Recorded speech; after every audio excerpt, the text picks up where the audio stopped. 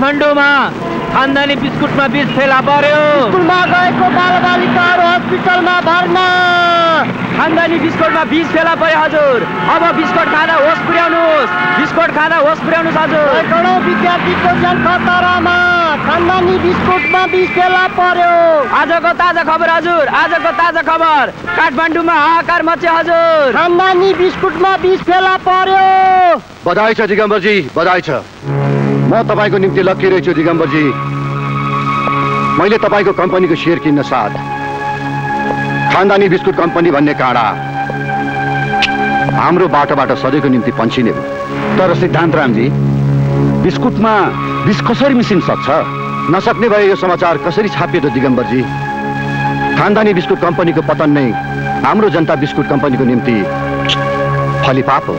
सिद्धान्त रामजी गर्व छ मलाई। तपाईँ जस्तो सेयर होल्डर पाएर। विजय लक्ष्मी र विशम्बर दुवै आमा छोरा खुब दौडिरहेका थिए। अब थाहा पाउँछन् ती दुवैले।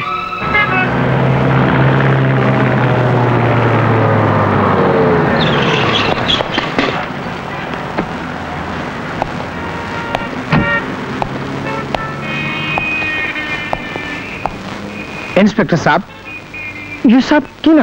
विशम्बरजी यो केस एकदमै सिरियस भइसकेको छ। पुरा छानबिन नभएसम्म हामी तपाईँलाई फ्याक्ट्री खोल्न दिन सक्दैनौँ।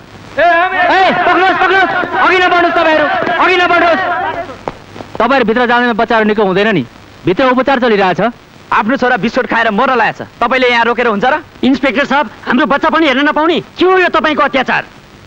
शान्त हुनुहोस्। तपाईँहरू चुप्लाएर बस्नुहोस्। हेर्नुहोस् बच्चाहरू खतराबाट बाहिर आइसकेको छ। बरु सानुकाजी भन्ने बच्चाको कोही आफ्नो मान्छे आउनु भएको छ? म हुँ हजुर। म हुँ। सानुकाजीको बाबु। त्यसो भए तपाईँ भित्र आउनुहोस्।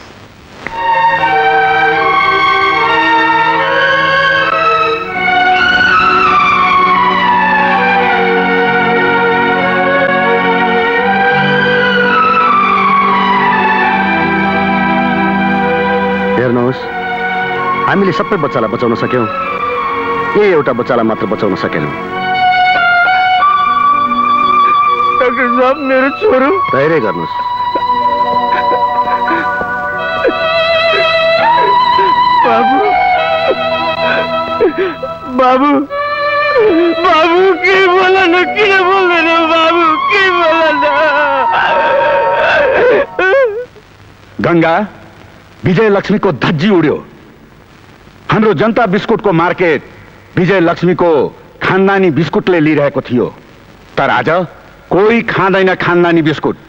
किनभने उसको बिस्कुटमा विष फेला पर्यो गङ्गा विष सौतिनी भए पनि आमा त आमा हुन्। आफन्तलाई अप्ठ्यारो पर्दा हामी यसरी खुसी हुन थाल्यौँ भने हामी मर्दा त रुने पनि कोही हुँदैन। गङ्गा सुन्नु छैन मलाई तिम्रो यो आफ्नोपन। मैले के नराम्रो गरेको थिएँ उनीहरूमाथि? विजय लक्ष्मीलाई आफ्नै आमा ठानेको थिएँ। विशम्बरलाई कहिले सौतेनी भाइ ठानेको थिइनँ। आदर गर्नुपर्नेलाई आदर गरेको थिएँ। माया दिनुपर्नेलाई माया दिएको थिएँ। हो नि भाउजू आखिर त्यही विजय लक्ष्मीले हाम्रो सिङ्गो परिवारलाई तोडेर टुक्रा पारिदियो र भएभरको सम्पत्ति हडपेर मेरो दाइलाई नाङ्गो झार पारेर छाडिदियो। अझै हजुर त्यस्तो बैगुनेलाई आफ्नो ठान्नुहुन्छ? बाबु विश्वम्बर कतै हाम्रो कम्पनी बिगार्न त्यो दिगम्बरले चलेको चाल त होइन? तर आमा दाइमाथि एकैचोटि यसरी शङ्का गर्नु पनि त ठिक हुँदैन। कतै यो हाम्रै मजदुरको लापरवाहीले पनि भएको हुन सक्छ। जोसुकैले गरेको होस्। अहिले यतिखेर हाम्रो हुन लागेको बर्बादी देखेर त्यो दिगम्बरले खुसी मनाइरहेको होला। बाबु मलाई त्यसको चरित्र राम्ररी थाहा छ। सधैँभरि यसरी घृणाको दृष्टिले नहेरौँ न आमा। बरु यस्तो आपत परेको बेलामा त एकचोटि जेठाजुले बोलाएर सल्लाह गरौँ न। बुहारी कोसित सल्लाह लिनुपर्छ कोसित सल्लाह लिनु पर्दैन। त्यो तिमीले मलाई सिकाइरहनु पर्दैन। पेटमा बच्चा भएको बेला तिमीले यस्तो कुराको चिन्ता लिनु ठिक हुँदैन। तिमी खुरुको कोठामा गएर आराम गर। जाऊ। बाबु विश्वम्बर यो काम जसले गरेको भए पनि तुरन्त पत्ता लगाउनु पर्यो। यो काम मेरो हो मालिक नि। यो पाप मैले गरेको यो मेरो छोरो म आफूलाई भन्दा बढ्ता यसलाई माया गर्थे। तर आज यो मर्यो। मैले नै बिस्कुटमा बिख मिलाएर यसलाई मारे हजुर। यसको हत्यारा म मैले नै बिस्कुटमा बिख मिलाएर यसलाई मारे। अम्बरे तँ यो के भन्दैछस्? हजुर जनता बिस्कुटको एकजना नचिन्ने मान्छे आएर मलाई पैसा दियो। मैले लोभमा फसेर यो कुकर्म गरेँ तर मेरै छोरो मर्यो हजुर। मेरै छोरो मर्यो सुनिस् विशम्बर आखिर मेरै शङ्का सही निस्क्यो। श्रीरामले आफ्नो सौतिनी भाइ भरतको लागि राजगद्दी त्यागेका थिए तर त्यो दिगम्बरले हाम्रै पिठ्युमा छुरा रोप्यो। देखिस् त। अमरे तैँले गल्ती गरेर त त डुबिस डुबिस। तैँले हामीलाई पनि डुबाइस। हिँड पुलिस थानामा गएर बयान दिनुपर्छ। हिँड। हजुर।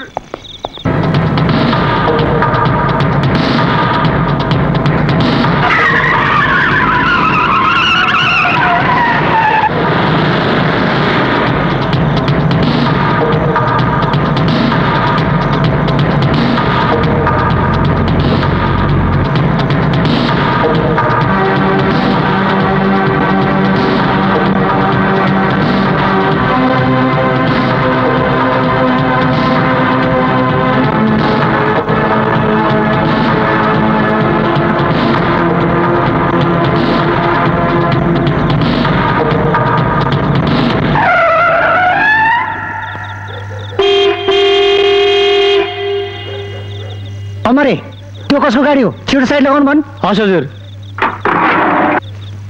लौ नि हजुर कसो गाडी हो त्यो? साइड लगाइदिनुहोस् न। हामीलाई एकदमै हतार छ।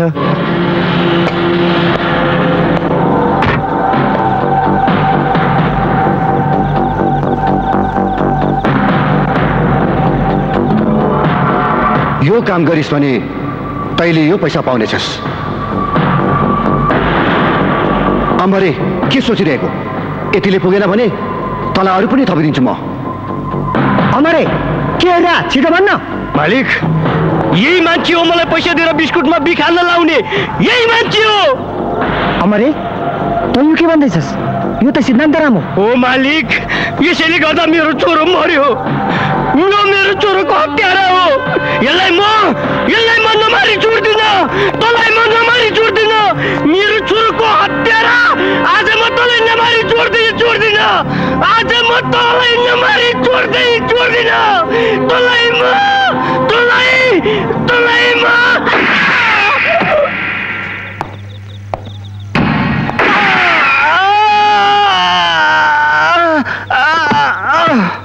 सिद्धान्त रामजी तपाईँले यो के गर्नु भएको जनता बिस्कुट कम्पनीमा मेरो पनि चालिस पर्सेन्ट सेयर छ विशम्बरजी। तपाईँको खानदानी बिस्कुट कम्पनीलाई बदनाम गराउने मेरो एउटा षड्यन्त्र थियो। तपाईँ त डुब्नुभयो डुब्नुभयो विशम्बरजी। अब एक दिन म तपाईँको दाईलाई पनि डुबाएर जनता बिस्कुट कम्पनीको एक्लो मालिक बन्नेछु। धोकेबाज दाजु र भाइको बिचमा फाटो ल्याउने त रहेछस्। तँलाई जिउँदो छाड्दिन कसले कसलाई जिउँदो छाड्छ? त्यो त अब थाहा हुन्छ विशम्बर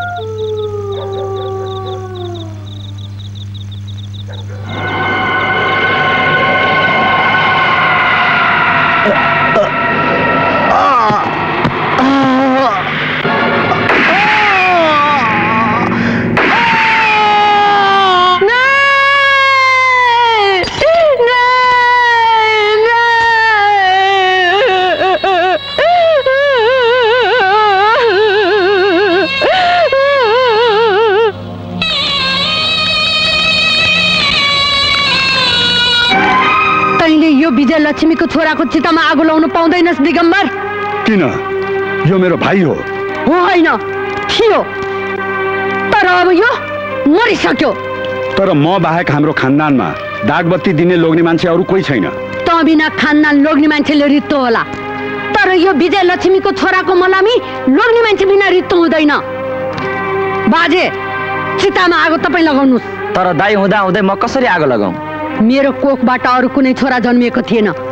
यो फेरि कसरी दाजु भयो? यो लासकी आमा भएर भन्दैछु। बाजे चितामा आगो दिएर पुण्य कमाउनुहोस्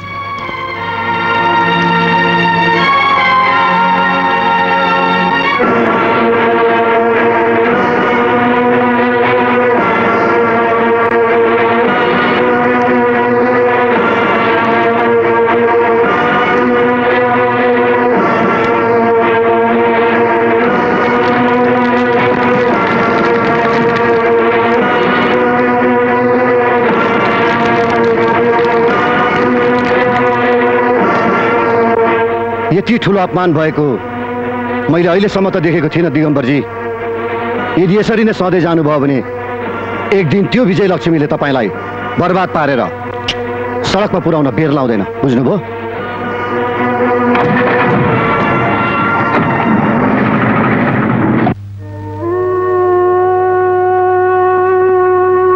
गायत्री आज जुन घटना तिमी माथि घट्यो भोलि गएर त्यही घटना कसैमाथि पनि त घट्न सक्छ। आज म एक्लै भएँ दिदी। मलाई यो खानदानी झै झगडा मन परेन आमाले। यो मेरो कोखको बच्चालाई पनि आफ्नो झगडाको हतियार बनाउनु खोज्नु भएको छ दिदी। जसले जे खोजे पनि हामीले हाम्रो कोखमा हुर्किएको बच्चाहरूको हातमा घृणाको खुकुरी होइन प्रेमको फुल दिनुपर्छ। यस खानदानकी बुहारी भएको नाताले यस खानदानी दुश्मनीलाई सधैँको लागि हटाउनु पर्छ हामीले। गायत्रीजी पिर नमान्नुहोस् धेरै। घाउ नलाग्नु लागिसकेपछि त्यस घाउले आफैलाई दुख्छ अरूलाई दुख्दैन। डाक्टर प्रकाश हाम्रो घाउमा कसैले मलम लाउनु पर्दैन। सान्त्वना दिन आएकोमा धन्यवाद। अब तिमीहरू जान सक्छौ। हामीहरू यहाँ सधैँभरि बस्नको लागि आएका पनि होइन विजयलक्ष्मीजी हेर्नुहोस् तपाईँको घर फाटेर दुई चिरा भएको छ। अब जोडिनुहोस्। मेरो कसैको भाषण सुन्ने बानी छैन डाक्टर प्रकाश।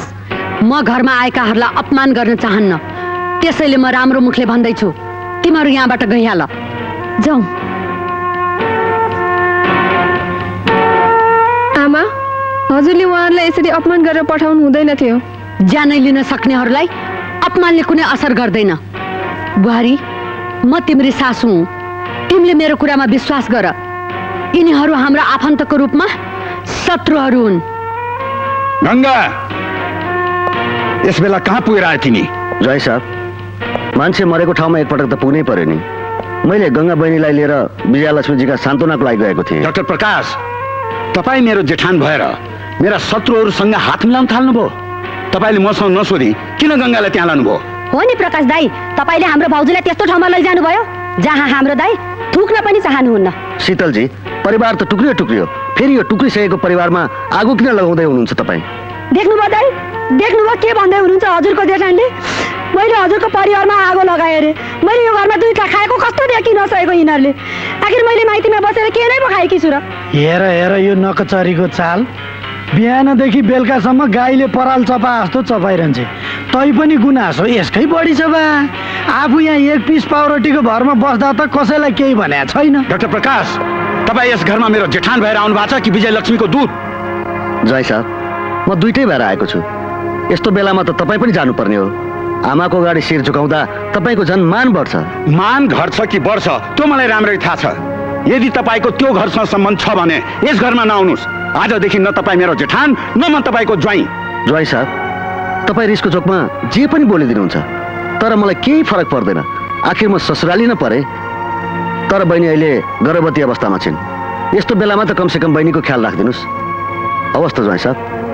हजुरले हजुरले किन यस्तो भन्नुभएको प्रकाश दाईलाई? दाई ठिकै त भन्दै हुनुहुन्छ नि भाउजू। यस्तो अर्थी दिने मान्छेलाई घरमा नआइज भनेर के गल्ती गर्नु भएर दाईले? तपाईँ आफ्नो लोग्नेको शिर शत्रुको अगाडि झुकेको सहन सक्नुहुन्छ? म त सक्दिनँ।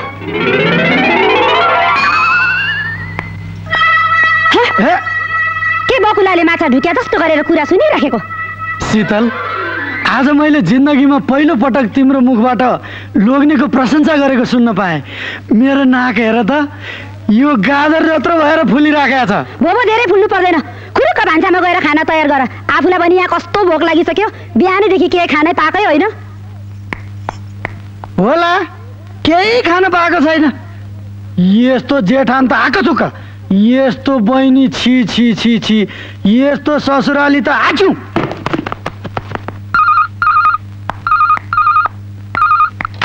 हेलो? डाक्टर प्रकाशलाई पाऊ न एकछिन है। डाक्टर साहब हजुरको फोन। हेलो? डाक्टर साहब म उर्मिला। मालिक नि एक्कासी बिहोस हुनुभयो। घरमा अरू कोही छ कि छैन? कोही पनि छैन डाक्टर साहब। मालिक पनि हुनुहुन्न। ल ठिक छ। तिमी फोन राख म आउँदैछु।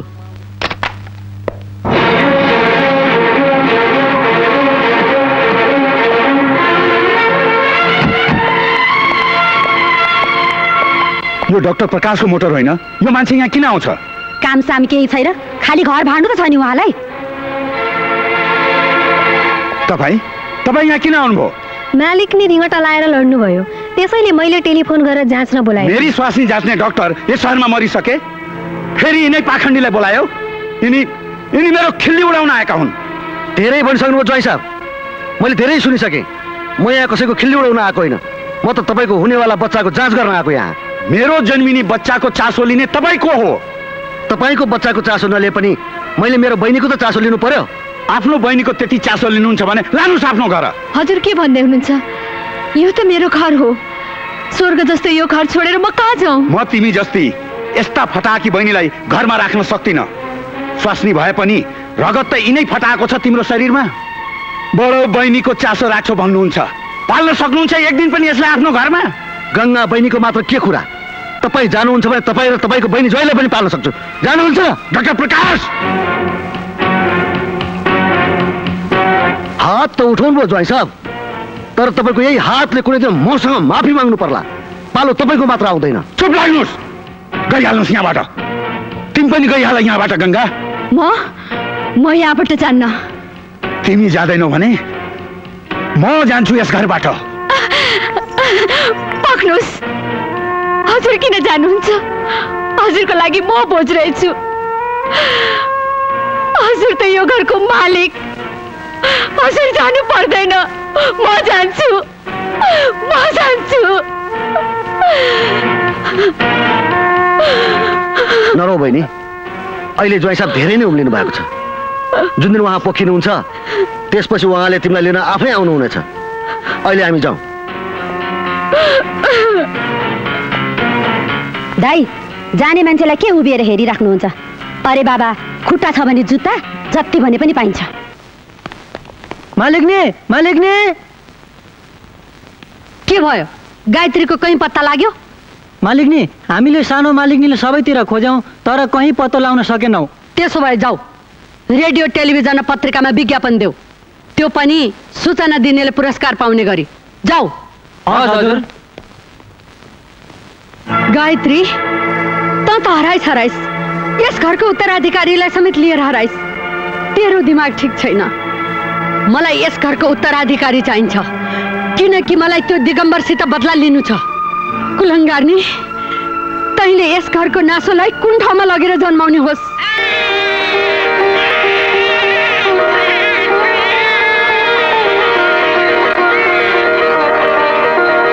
डाक्टर साहब डाक्टर साहब हजुरलाई बधाई छ। हजुरको भान्जा जन्मियो। भान्जा जन्मियो? हजुर।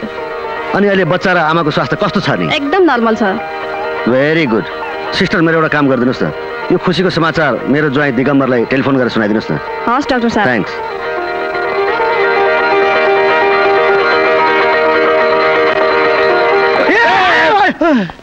ए ज्वाइँ साहब के ऋणिया खुस्नु कि क्या हो? मेरो कहिले पो कसिएको थियो र अहिले खुस्किनु दाइ। त्यसो भए कसेर राख्नुहोस्। कस्न त हजुरले पर्ने भयो हजुरको यो कपडाभरि आची लाग्ने भयो? यो गालाभरि सिँगान दलिने भयो? यो मुखभरि पिसा फेरिने भयो आची हाक थुक्क। सिँगान छ्या पिसाब हाच्यौँ पनि भन्न पाउनुहुन्न। साहब। तपाईँले के भन्न खोज्नु भएको? ल हजुर अहिले भर्खर अस्पतालबाट फोन आएको थियो। गङ्गा दिदीले छोरा पाउनु अरे श्यामे बिरे कृष्ण औ छिटो आऊ यहाँ। हजुर मालिक। तिमीहरूलाई थाहा छ मेरो छोरा जन्मियो। छोरा जाओ बिस्कुट फ्याक्ट्रीमा सबैलाई मिठाई बाँड। जाओ। हस् मालिक। जेठानजी यिनीहरू त मिठाई बाँड्न गइहाले। हामी चाहिँ के गर्ने नि? खै हात ल्याउनुहोस्। है लरिबरी हो है छोरा जन्मियो ल है है लरिबरी हो है छोरा जन्मियो ल है है लडीबडी है छोरा जन्मियो ल है है लडीबडी बाउला जस्तो के हो यो? छोरा। के हो यो? के हुनु नि? देखिनुहोस् ज्वाइँ जेठान नाचे। कोङ्गा दिदीले छोरा पाउनु भयो अरे साँच्ची तेरो पनि त प्रमोसन भयो नि। त फुपू भइस् म फुपा भाइ। भाउजूले छोरो त पाउनुभयो तर यो घरबाट नाता तोडेर गएपछि त पाउनुभयो अन्त जन्मिएको भदाको लागि म त खुसी हुन सक्दिनँ। बरु दाई तपाईँले कहिले सोच्नु भएको छ? आफ्नो छोरालाई ससुरालीबाट कसरी झिकाउने भन्ने कुरा? वास्तवमा तँ त आर्मीमा जानुपर्ने मान्छे हो नि। किन नि? किन नि अब? जतिखेर नि बम पड्के जस्तो पड्किरहन्छस्। त्यस्तै परेर मात्रै नत्र म तिमीलाई पनि पड्काइदिन्छु मलाई खुत्रो कै पार्यो जेठान तिम्रो बहिनीले। मलाई खुत्रो कै पार्यो जेठान तिम्रो बहिनीले। प्रमिला हजुर खै त तिम्रो मालिक? मैले त बिहानदेखि देखिनँ। खै दिदी इमर्जेन्सी काम छ भनेर भन्नुभएको थियो। बेलुका पनि ढिलो हुन्छ अरे। अनि बाबुले दुध खायो त? खायो मेरो छोराले। प्रमिला प्रमिला। हजुर दाई। प्रमिला। लाउ त। यो बच्चालाई राम्रोसँग नुहाइ धुवाइ गरेर न्यानो पार राख जाऊ। हजुर हस्। बच्चा? कसको बच्चा यो? एउटी गरिब विधवाको। यसलाई त बचाउन सकेँ। यसको आमालाई बचाउन सकिनँ मैले। धेरैले त यसलाई अनाथालयमा पुर्याइदिउँ भन्थे तर मेरो मनले मानेन। अब यहीँ हुर्किन्छ यो लु लु लु लु लु लु ल हो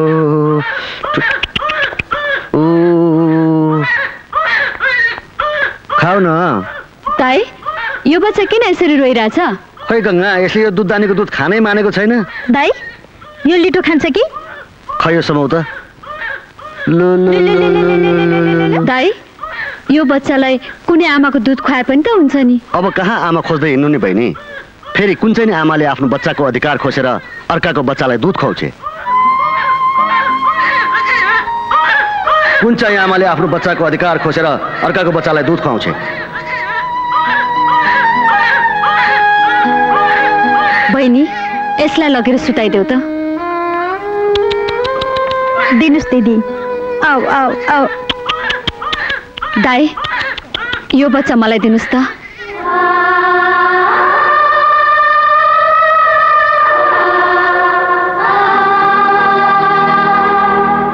तपाईँलाई त सब थाहा छ। अहिले मेरो ससुरालीसँग राम्रो सम्बन्ध छैन। स्वास्नी उतै छे। छोरो पनि उहीँ जन्मियो। एकपटक भए पनि छोराको मुख हेर्न मन लागेको थियो। त्यत्रो अपमान सहेर पनि पुगेन दाई अझै छोरोको मुख हेर्न हजुर ससुरालीमा शिर निहुराएर जाने। शीतल बहिनी सन्तानको माया नै यस्तो हुन्छ। कस्ता कस्ताले त यस्तो मामलामा शिर निहुराएका छन्? दिगम्बरजी तपाईँ किन सुर्ताउनुहुन्छ? छोरो तपाईँको हो। अरे बाबा मुद्दै लडे पनि तपाईँ जित्नुहुन्छ। बरु भोलि नै हामी तपाईँको छोरो लिन जाउँ। कहाँ जन्मिस आज यहाँ हुर्काउँदैछस् त्यही माथि पनि गङ्गा दिदीको दुध खान पाइस् मोरो भाग्यमानी रहेछस् बुझिस् ल हिँड आऊ ला ला ला ला ला ला ला ला ला ला ला ला ला ला ला ला ला ला ला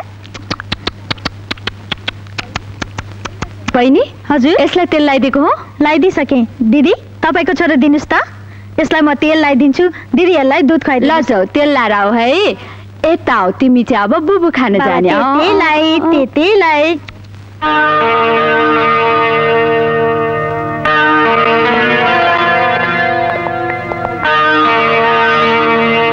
गङ्गा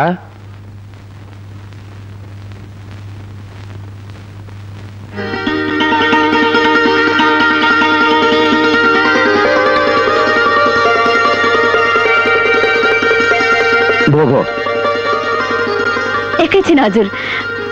म आइहालेँ।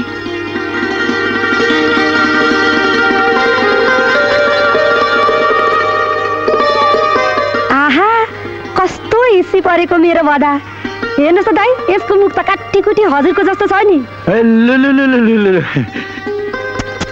दिगम्बरजी नाक त ठ्याक्कै तपाईँको जस्तो छ नि। तपाईँको आफ्नै छोरो हो। मौका यही हो। यसलाई घर लिएर जाउँ। तपाईँले ठिक भन्नुभयो। यसलाई हामीले लिएर गयौँ भने भाउजू आफै टाउकोले टेकेर आइहाल्नुहुन्छ नि। आज हाम्रो छोराले बुबालाई भेट्छ अघि छोरा।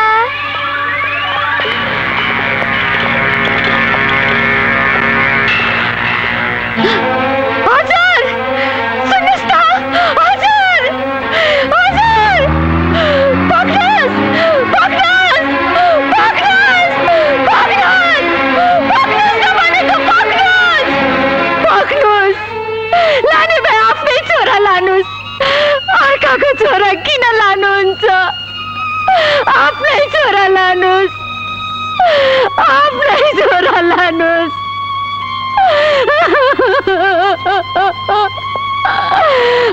के भयो गङ्गा?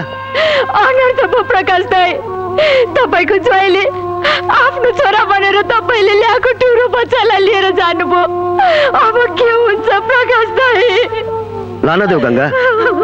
किनकि त्यो बच्चा पनि यही खानदानको यही खानदानको? के भन्दै हुनुहुन्छ तपाईँ? हो गङ्गा। किनभने त्यो बच्चालाई ल्याएको दिन मलाई एउटा इमर्जेन्सी फोन आएकोले म एक ठाउँमा गएको थिएँ।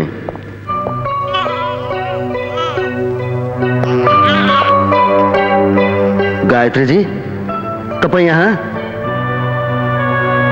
कहाँ जाउँ त डाक्टर प्रकाश? मैले मेरो छोरालाई घरमै जन्म दिएकी भए मेरी सासूले यसलाई खानदानी दुश्मनीको बलियो हतियार बनाउँथिन्। यसलाई काटमार गर्न झगडा गर्न सिकाउँथिन्। एउटी आमाले आफ्नो सन्तानलाई गलत बाटोमा हिँडेको कसले हेर्न सक्छ र? त्यसैले आज म मेरो कम्पनीको विश्वासिलो मान्छेको घरमा आएर लुकेर बसेकी हुँ। डाक्टर प्रकाश मेरो छोरोको संरक्षण गरिदिनुहोस् पालिदिनुहोस् सही बाटोमा लगाइदिनुहोस् डाक्टर साहब। मेरो त अन्तिम घडी आइसकेको छ। गायत्रीजी गायत्रीजी गायत्रीजी! बहिनी तिमीले पनि त गायत्रीलाई आफ्नो जन्मने बच्चाहरूको हातमा घृणाको खुकुरी होइन प्रेमको फुल दिने वचन दिएकी थियौ। त्यसैले मैले त्यो बच्चालाई यहाँ ल्याएँ। मलाई खुसी लाग्यो। तिमीले त्यसलाई आमा बनेर दुध खुवाउन थाल्यौ। तर दाई मेरो आफ्नो छोरो बनेको त आफ्नै हो नि। जे हुनु भइहाल्यो बहिनी। ज्वाइँ साहबले अब त्यो विशम्बरको छोरालाई नै आफ्नो सम्झेर अप्नाइसक्नु भएको छ। यदि त्यो कुरा ज्वाइँ साहबले थाहा पाउनुभयो भने त्यस बच्चालाई मारिदिन पनि बेर लाउनुहुन्न। यो कुरालाई गोप्य राखेर तिमीले खानदानी दुश्मनी सधैँको लागि खतम गर्नुपर्छ बहिनी। र त्यो अबोध बालकको लागि तिमीले यति उपकार त गर्नै पर्छ गङ्गा। म गर्छु दाई। म गर्छु। म कहिले भन्दिनँ? उहाँले लानु भएको छोरो हाम्रो होइन। विजय लक्ष्मीको नाति हो भनेर। त्यसलाई पनि मैले दुध खुवाएकी छु। त्यसको भविष्यको लागि म जीवनभर चुप लाग्नेछु। यो मेरो वचन भयो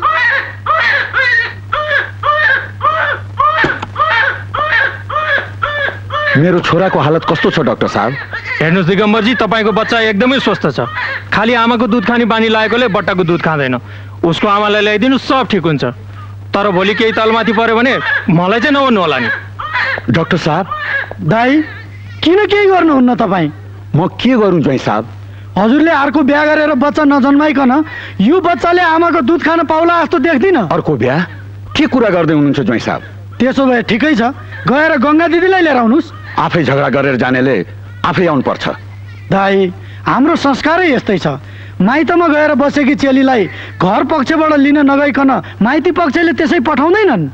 यदि गङ्गा दिदी यो घरमा आउनु भएन भने यो बच्चाको भविष्य पनि त खतम छ।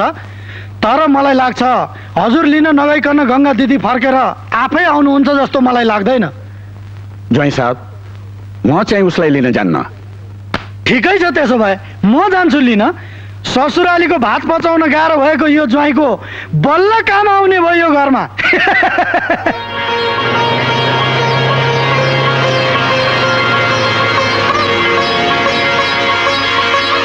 दर्शन हजुर दर्शन हजुर दर्शन।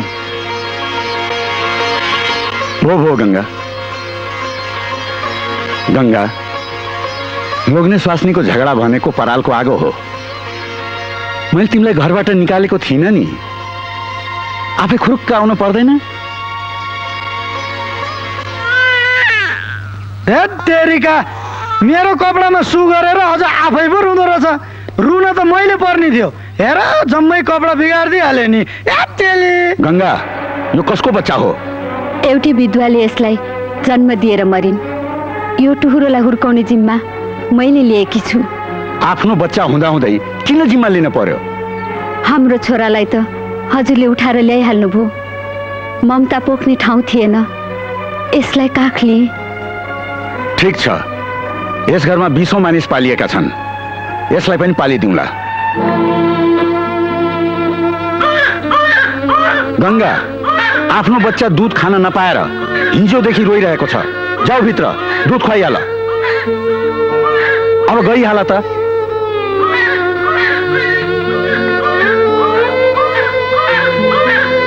बिर्खे यो बच्चालाई नोकरहरूको कोठामा लैजा। बिर्खेले होइन जेठानज्यू। अब यो बच्चालाई म पाल्छु। फेरि यसले मेरो कपडामा पिसा पनि त फेरिदिएको छ। ओइ आची चाहिँ नगर्ने फेरि। के गर्छस् त? तेरो पनि आमा बाउ कोही रहेन रहेछन् मेरो पनि कोही छैनन्। तँ पनि टुर हो म पनि टुर। हो नरो बाबु नरो। रोएर के गर्छस्? टुरो भएर रुन हुँदैन। हाँस्न सिक्नुपर्छ। टुरोको आँसु पुछिदिने कोही पनि हुँदैन। के गर्छस्? अभागी भएर जन्मिस।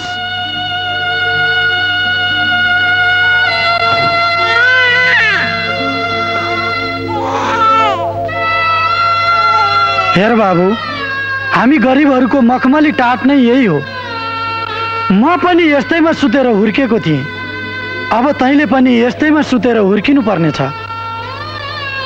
गङ्गा तिमी अझसम्म यहीँ छौ। आफ्नो छोराको भन्दा अर्काको छोराको माया लाग्यो। जाऊ भित्र जाऊ गएर आफ्नो छोरालाई दुध खुवाऊ।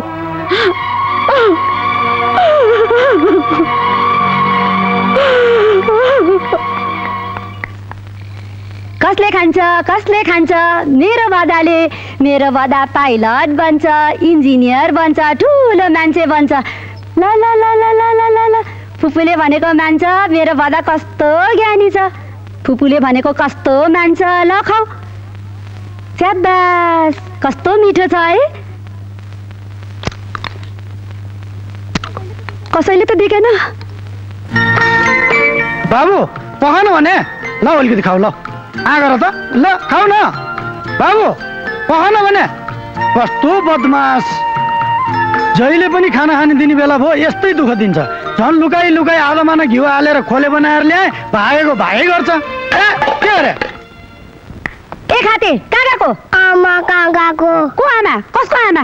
अलिकति माया के गरे टाउकोमा टेक्छस् त्यसो नभन्नु न फुपू। म तेरो फुपू सुपू होइन। खाते कहीँको देउ चर्कन। के गरेको? के गरेको शीतल यो तिमीले? बच्चा भनेको त भगवान्को रूप हुन्छन्। तिमी पनि नारी भएर जन्मेकी छेउ। एउटी नारीले यस्तो कठोर हृदय बनाएको शोभा दिँदैन शीतल। यसले के बिगारेको छ तिम्रो?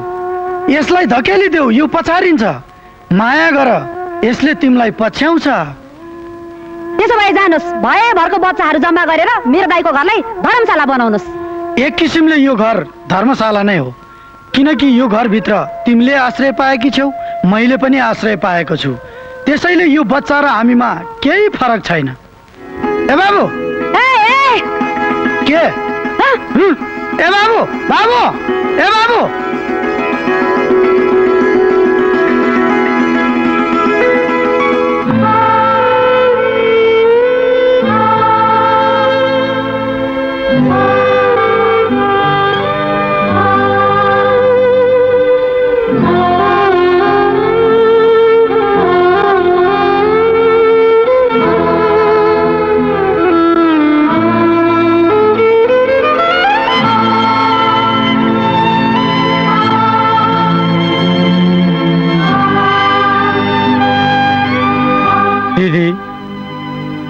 तपाईँको जुठो खाएर यसले त भाग्य नै बलियो बनाउने भयो।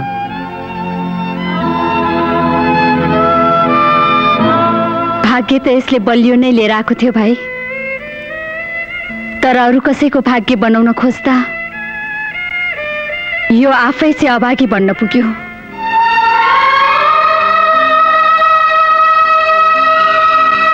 होस्टेलमा बसेर ज्ञानी हुने राम्रोसँग पढ्ने बदमासी नगर्ने साथीभाइसँग मिल्ने हुन्छ छोरा? च्याबास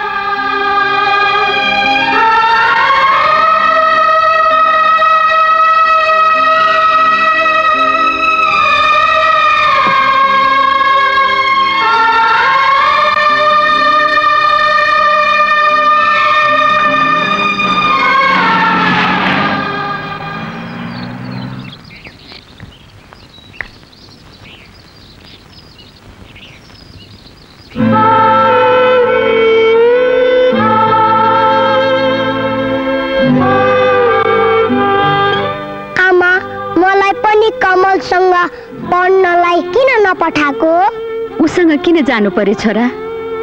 तिमीलाई त म आफैसँग राखेर पढाउँछु।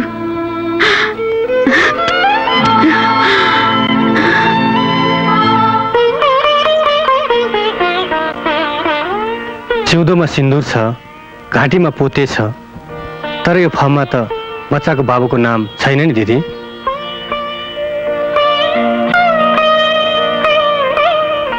हाम्रो छोरालाई आमा भए पुग्छ अघि विशाल?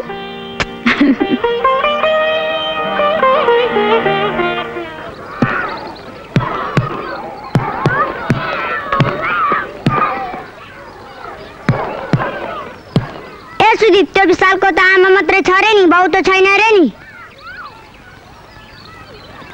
ए विशाल तँलाई त सधैँ तेरी आमालाई मात्रै पुऱ्याउन आउँछन् नि तर बाउ खै त।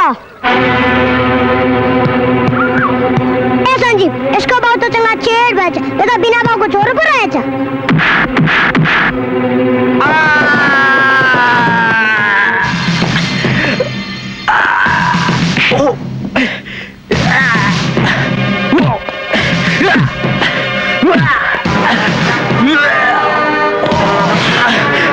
म पनि आमाको दुध खाएर हुर्केको छोरो हुँ।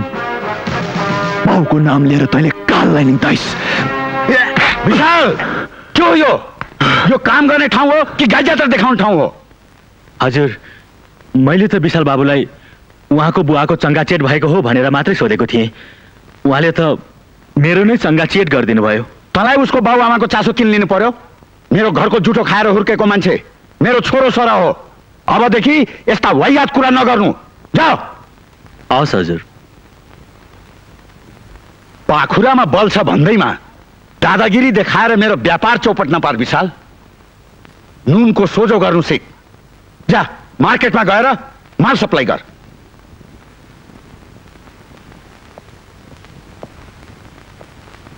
सिद्धान्त रामजी यो तपाईँको भतिजो कस्तो खालको मान्छे हो? हजुर अब हङकङबाट भर्खर भर्खरै फर्केको छ। दुई चार दिनमा आफै ठिक भइहाल्छ नि।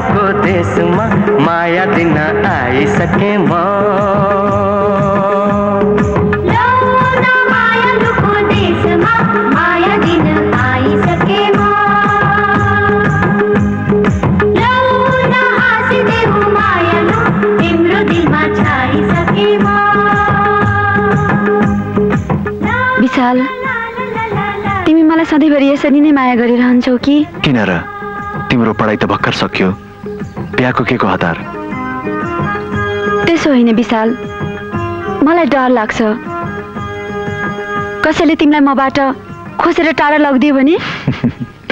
किन र तिमीलाई तिम्रो मायाप्रति विश्वास छैन। निशा तिमी हरायो भने म तिमीलाई आकाश पाताल एक गरेर भए पनि खोज्छु। मेरो एउटा सपना छ कि तिमीलाई राख्ने एउटा घर होस्।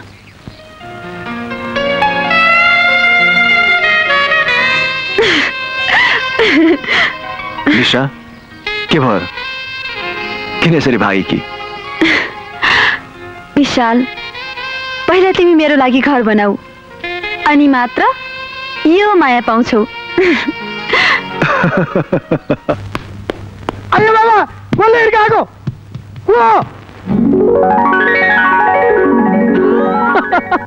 म फुपा म किन तर्सिनु भएको तपाईँ?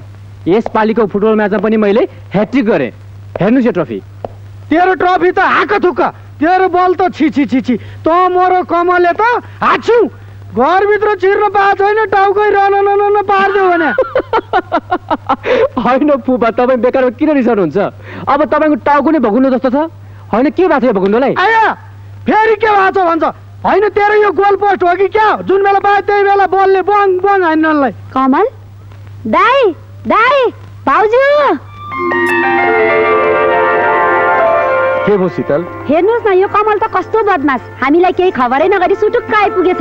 ड्याडी मम्मी ड्याडी चिरिन्ज मम्मी फुपू हेर्नुहोस् ड्याडी यसपालिको क्याम्पस स्तरीयको फुटबल खेलमा सर्वश्रेष्ठ खेलाडीको कप मैले पाएँ।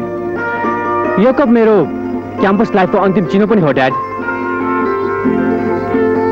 देख्यौ गङ्गा। मेरो छोराले पढाइमा मात्र होइन खेलकुदमा पनि बेस्ट प्लेयर भएर देखायो। मम्मी मैले सबैले भेटेँ तर विशाल दाईलाई देखिनँ नि। कमल। विशाल दाई? दाई सन्चै हुनुहुन्छ? सन्चै छु। दाई मेरो बिजनेस म्यानेजमेन्ट कम्प्लिट भयो। म पनि भोलिदेखि बजारमा माल सप्लाई गर्न तपाईँसँगै जान्छु। कमल तैँले भोलिदेखि मेरो बिजनेस सम्हाल्नु पर्छ विशालले गर्नुपर्ने काम विशालले गर्छ। तैँले मार्केट जानु पर्दैन। त मालिकको कुर्सीमा बसेर अफिस हेर्नुपर्छ। तर ड्याडी मैले मार्केटिङ हेर्न किन हुँदैन? किनभने कमल तिमी यो घरको मालिक हौ। र मालिक भएपछि मालिकले नै गर्ने काम गर्नुपर्छ। कमल त थाकेर आएको होलास्। हिङमाथि गएर आराम गर।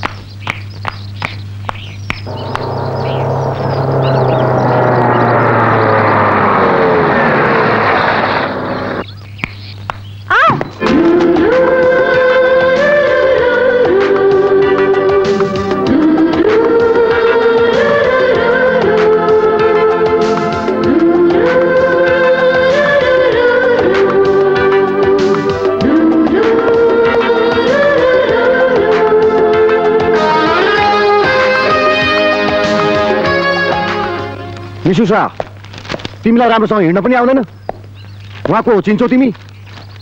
उहाँ हुनुहुन्छ दिगम्बरजीको छोरा कमल बाबु। I'm sorry sir no mention तर तिमी काम छोडेर यहाँ चाहिँ के गर्दैछौ? यो रिपोर्ट तयार गरेर हजुरको आउन लागि कि सर ल्याऊ अङ्कल तपाईँ बेकारमा उहाँलाई किन गाली गर्नुहुन्छ? गल्ती उहाँको होइन। गल्ती त मेरो थियो। कमल बाबु ठुलो मान्छेको पनि कहीँ गल्ती हुन्छ र भनिया। बस इज अलवेज राइट ल हिँड्नु जाउँ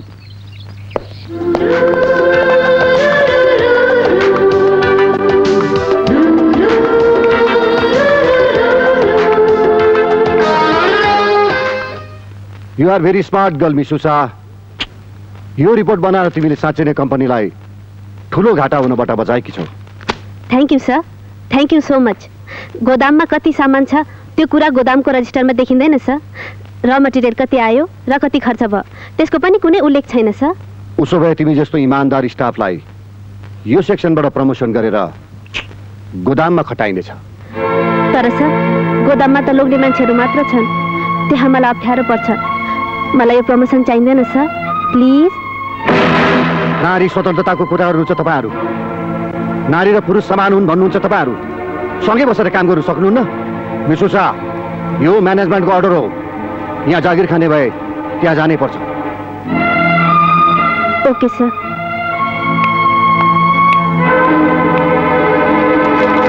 रिपोर्ट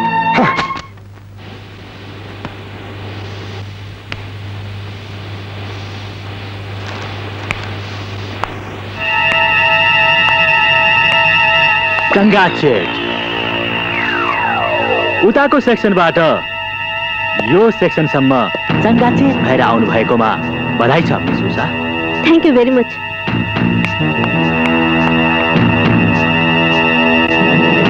चङ्गा चेट यो गोदाममा सबै चिज थियो तर तपाईँ हुनुहुन्न थियो तपाईँ आएर यो गोदाम गोदाम जस्तो भयो चङ्गा चेट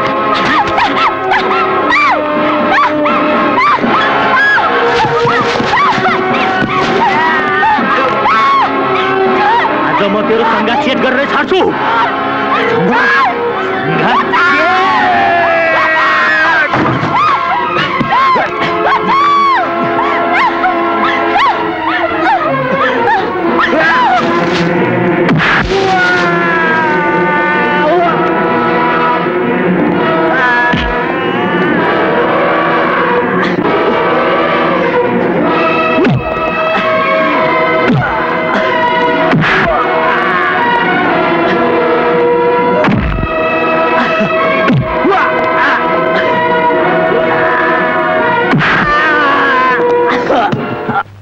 मिसुसा यसरी एक्कासी राजीनामा दिनुको कारण?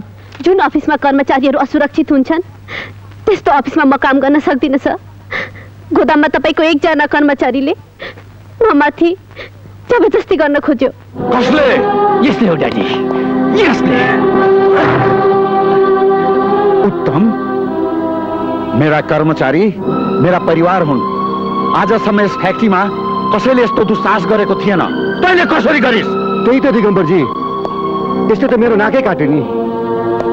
मेरै भतिजो भएर मेरै इज्जतमाथि खेलवाड गरे यसले। यसमा म साह्रै लज्जित छु। सिद्धान्त रामजी जे भयो नराम्रो भयो। म तपाईँको भतिजोलाई यहाँ काममा राख्न सक्दिनँ। दिगम्बरजी एकपटकलाई त तपाईँले यसलाई माफी दिनै पर्छ। आइन्दा यसले यसो गर्दैन। त्यसको ग्यारेन्टी म लिन्छु। ए छोड्नुहोस् अङ्कल तपाईँ त यो कम्पनीको मालिक हुँ यहाँ हुँ त्यहाँ हुँ भनेर मलाई त्यो हङकङको जागिर पनि छोडाएर यहाँ बोलाउनु भएको थियो नि। त्यो दिगम्बरको अगाडि त तपाईँको चङ्गा चेट हुँदो रहेछ नि। तेरै दिमाग चङ्गाचेट भएको छ किन तैँले त्यो केटीमाथि आँखा गाडेको? आँखा मात्र होइन अङ्कल। त्यो केटीले त मेरो मनकै चङ्गा चेट गरिदिए। छि छि नामको मात्रै त उत्तम। बानी त तेरो साह्रै नै खराब। अरे भतिज दिमागले काम गर दिमागले। तेरो यही पारा हो भने मेरो त साला सारा प्लान नै चङ्गा जस्तै चेट हुन्छ। मिसुसा यस कम्पनीलाई तपाईँ जस्तो इमान्दार स्टाफको खाँचो छ। अब रह्यो तपाईँको सुरक्षाको कुरा। त्यो हामी माथि छोडिदिनु सुसाजी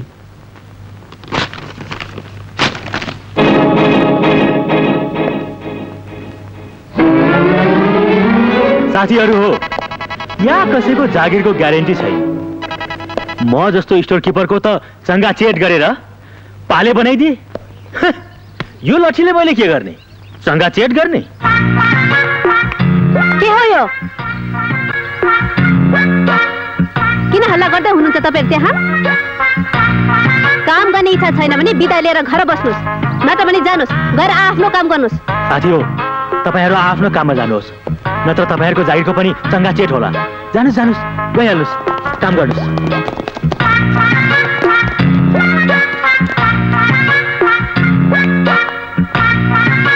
हेर हेर हेर यसको फुर्ती। चस्मा लगाएपछि त यसको फुर्तीको त झन् चङ्गा चेट भएछ।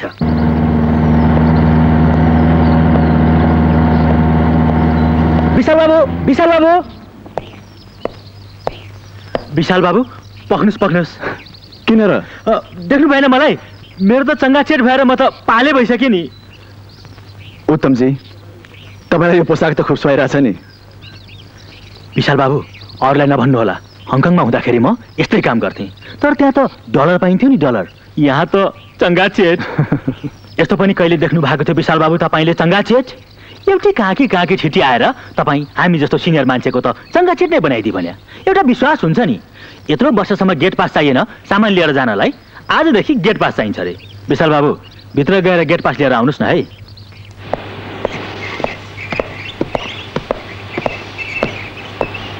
उषाजी म सामान सप्लाई गर्न भक्तपुर जाँदैछु।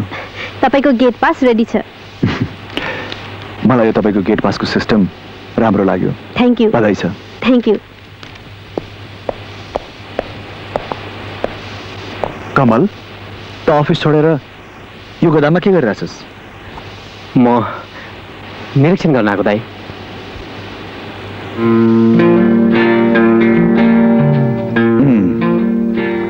घर घर। निरीक्षण गर राम्रोसँग गर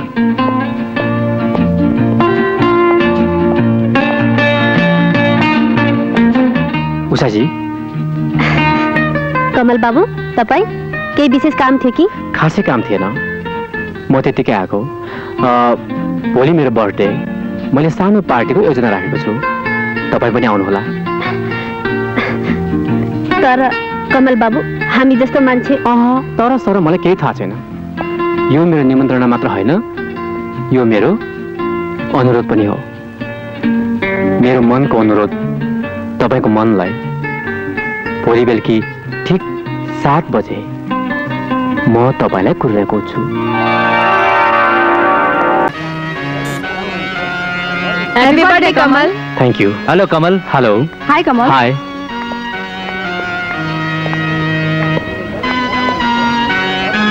Kamal cake काट्ने बेला भइसक्यो। आऊ न। मम्मी एकैछिन म आइहाल्छु। कमल के हो यो? केक काट्ने बेला भइसक्यो। कहाँ हिँडेको? ड्याडी प्लिज एकैछिन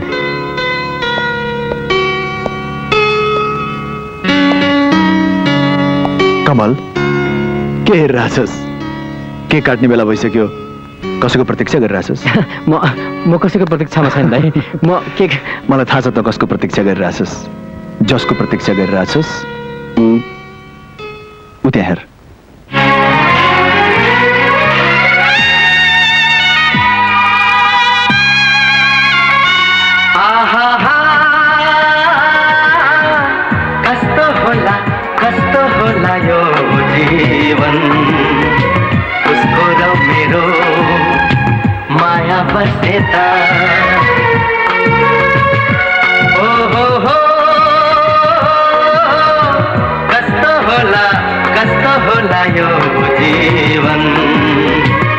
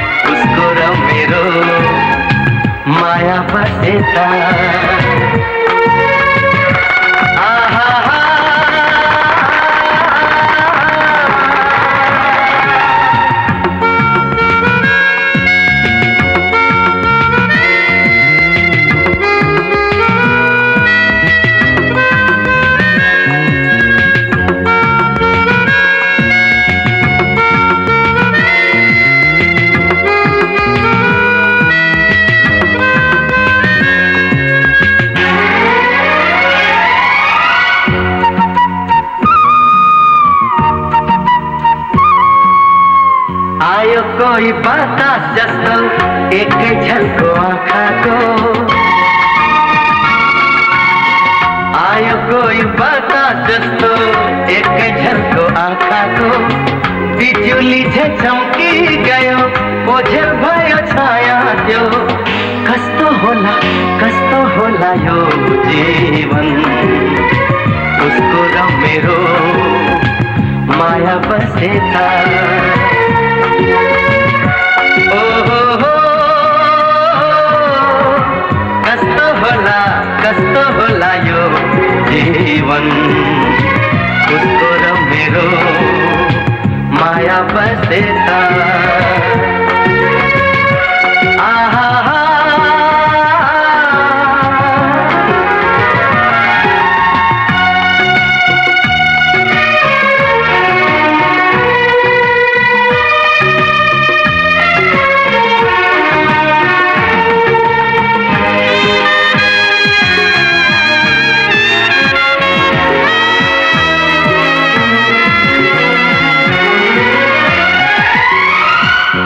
कति रात बीती गए सपनाको आशामा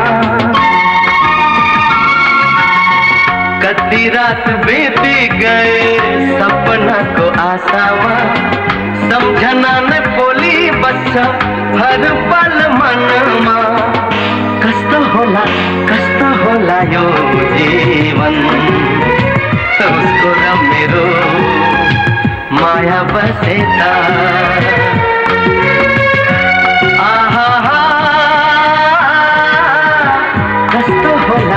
कस्तो होला यो जीवन।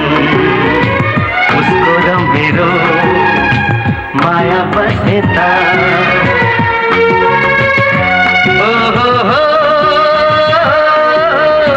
कस्तो होला कस्तो होला यो जीवन। उसको र मेरो माया बसेता ओ हो हो।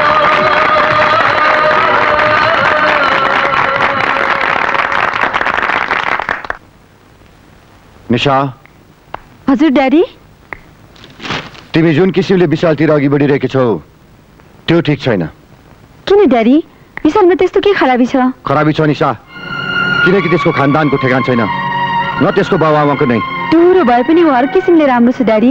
म तिम्रो लागि विशाल भन्दा राम्रो केटो खोज्न सक्छु। सक्नु होला तर विशाल जस्तो खोज्न सक्नुहुन्न।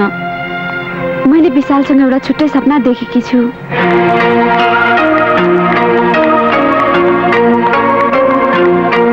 मैले पनि एउटा सपना देखेको छु निशा। त्यो सपना पुरा गर्न यो सिद्धान्त राम। कुनै पनि सिद्धान्तमाथि विश्वास राख्न तयार छ।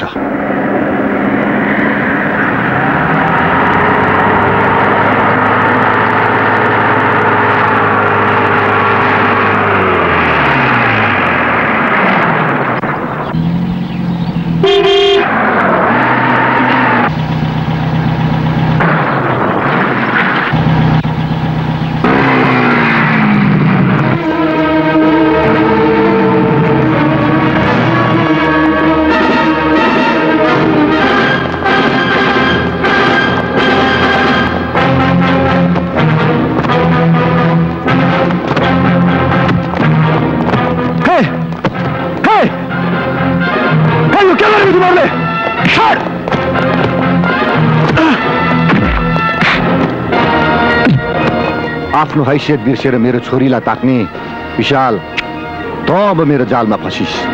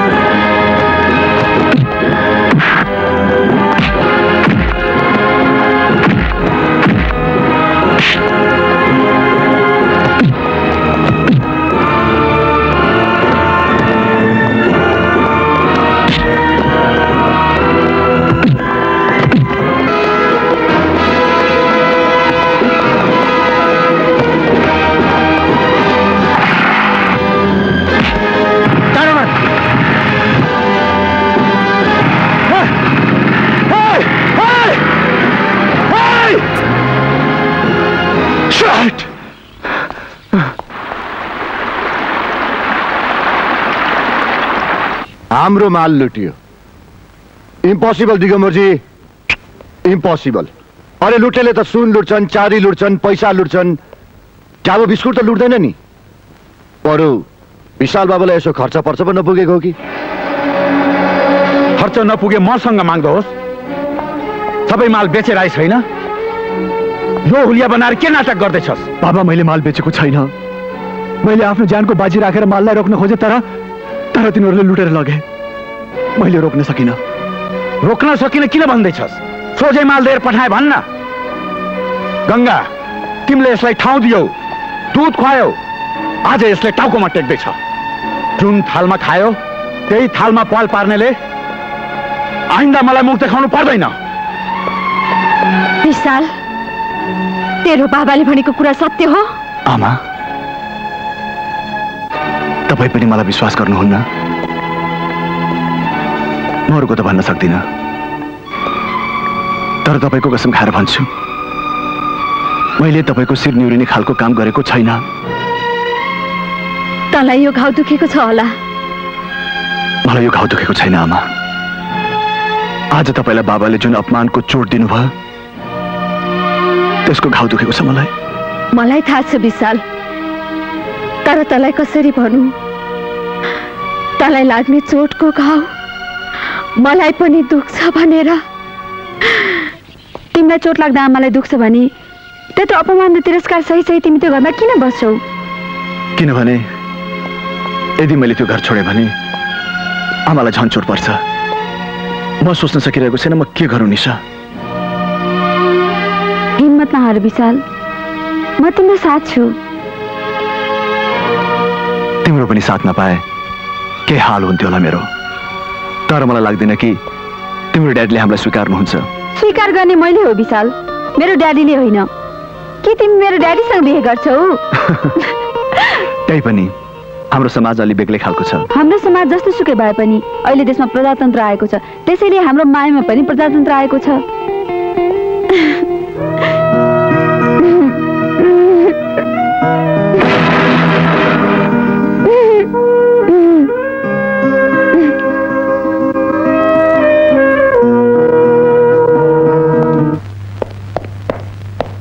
अरे सिद्धान्त रामजी आज बिहानै बिहानै के विशेष काम पर्यो कि क्या हो? बडो समस्या पर्यो दिगम्बरजी। के समस्या? आजकल मलाई रातभरि निन्द्रै लाग्दैन। डक्टरलाई देखाउनु भयो? युरोको डक्टर नै तपाईँ हुनुहुन्छ। त्यसैले त तपाईँको आएको। म डक्टर? क्या हो सिद्धान्त रामजी? हिजोकोले अझै छोडेको छैन कि क्या हो? ठट्टा गरे होइन दिगम्बरजी। अब तपाईँको पो छोरो छोरा ढुक्क छ। आफ्नो त छोरी पर्यो। अब छोरी तरुनी भएपछि बाबाआमालाई निन्द्रै लाग्दैन रहेछ। घुमाएर कुरा किन गर्नुहुन्छ सिद्धान्त रामजी? मैले कुरा बुझिसकेँ। कतै तपाईँले मेरो छोरा कमललाई ज्वाइँ त बनाउनु खोज्नु भएको छैन? किन? हुँदैन र। किन हुँदैन र सिद्धान्त रामजी? निशा हाम्रो सामुन्य जन्मिएकी केटी हो। उसलाई हामीले सानैदेखि चिन्छौँ। साह्रै असल स्वभावकी केटी छे। साँच्चै भनौँ भने हाम्रो खानदानकी बुहारी बन्ने लायक की छे? तपाईँ ढुक्क हुनुहोस्। मेरो तर्फबाट सम्बन्ध पक्का। पक्का? पक्का? साँच्चै पक्का? अरे बाबा ल यो मेरो तर्फबाट वचन भयो। अब त ढुक्क हुनुहोस्।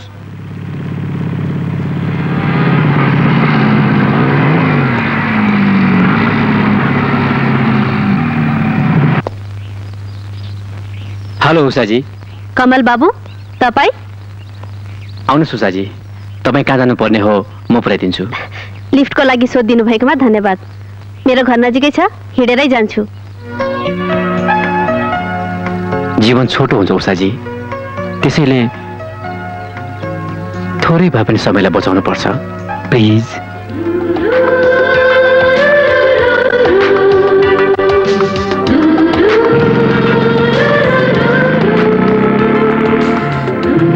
निशाजी म हेर्दा नराम्रो भए पनि मनको चाहिँ नराम्रो छैन नि। कसले भन्यो तपाईँलाई नराम्रो? मैले त तपाईँ जस्तो राम्रो मान्छे अहिलेसम्म देखेकै छैन। के भन्नुभयो तपाईँले?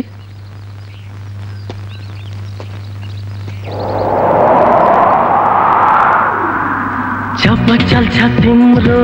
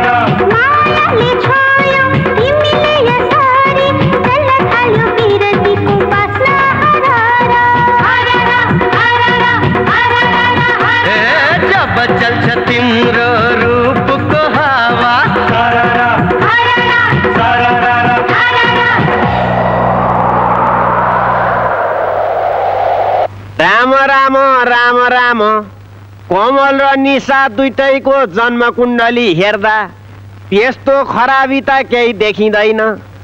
तर यो शनिले भने अलिकति राम राम राम राम शनिले केही बाधा गर्छ कि जस्तो लागेको थियो तर होइन रहेछ। मेरै चस्मामा पो शनि लागेको रहेछ। राम राम राम राम अब शनिले बाधा पुर्याउँछ कि पुर्याउँदैन? राम राम राम राम राम।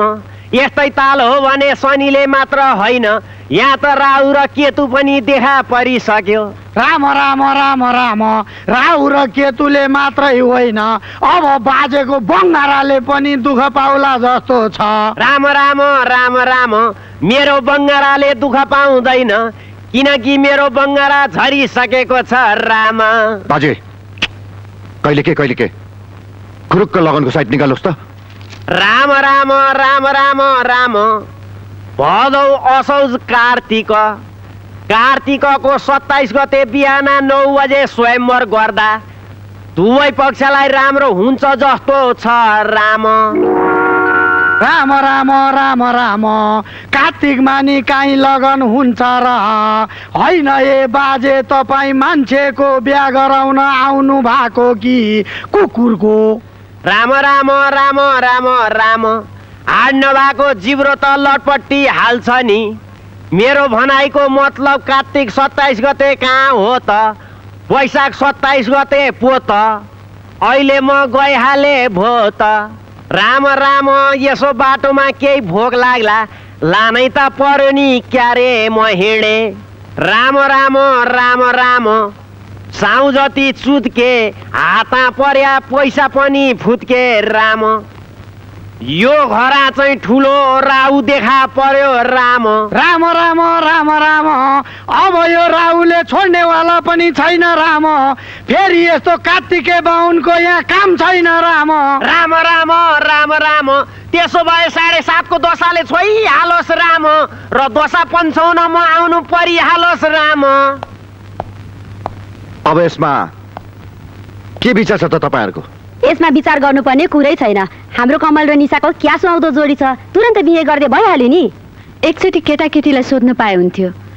जमाना कहाँदेखि कहाँ पुगिसक्यो? गङ्गा तिमी यो के भन्दैछौ? मैले सिद्धान्त रामजीलाई वचन दिइसकेको छु। बाबा आमाले ठिक भन्दै हुनुहुन्छ। एकचोटि कमललाई त सोध्नै पर्ला। होस् त हामीलाई अर्थी दिने। यो को हो? म चिनाउँछु तपाईँलाई आज दिगम्बरजी। जसलाई आजसम्म तपाईँहरूले दुध खुवाउनु भयो त्यही आज सर्प बनेर यस घरलाई डस्ट खोजिरहेछ तपाईँलाई डस्ट खोजिरहेछ। तपाईँकी हुनेवाली बुहारी अर्थात् मेरी छोरी निशालाई आफ्नो माया जालमा फसाएको छ यसले। त्यसैले यसले हामीलाई यो अर्थी दिँदैछ। विशाल के यो कुरा साँचो हो? बाबा म म सोध्दैछु के यो साँचो हो? हो। यो कुरा साँचो हो। म प्रेम गर्छु। र यदि ऊ मसँग प्रेम गर्दिनँ भने म निशा र कमलको बाटोबाट सधैँको लागि पन्छिदिन्छु।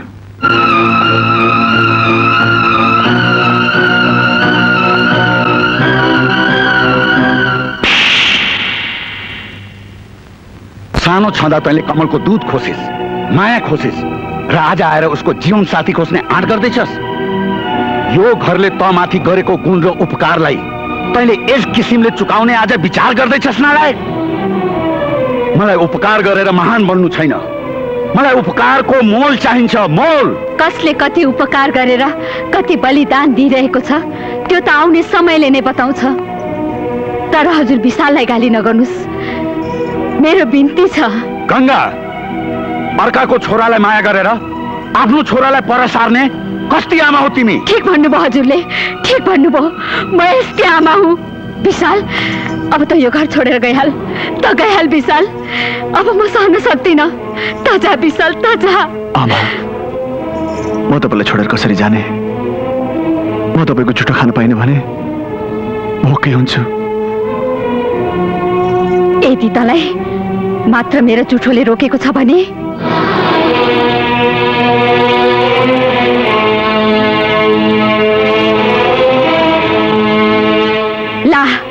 यसमा मैले जुठो हालिदिएकी छु। यदि त मेरो छोरा होस् भने तेरो बाबाले लगाएको उपकारको मोल कमाएर मात्र यो घरमा टेक। जा त गइहाल नत्र फेरि तैँले अर्को उपकारको मोल चुकाउनु पर्नेछ जा त यहाँबाट जा!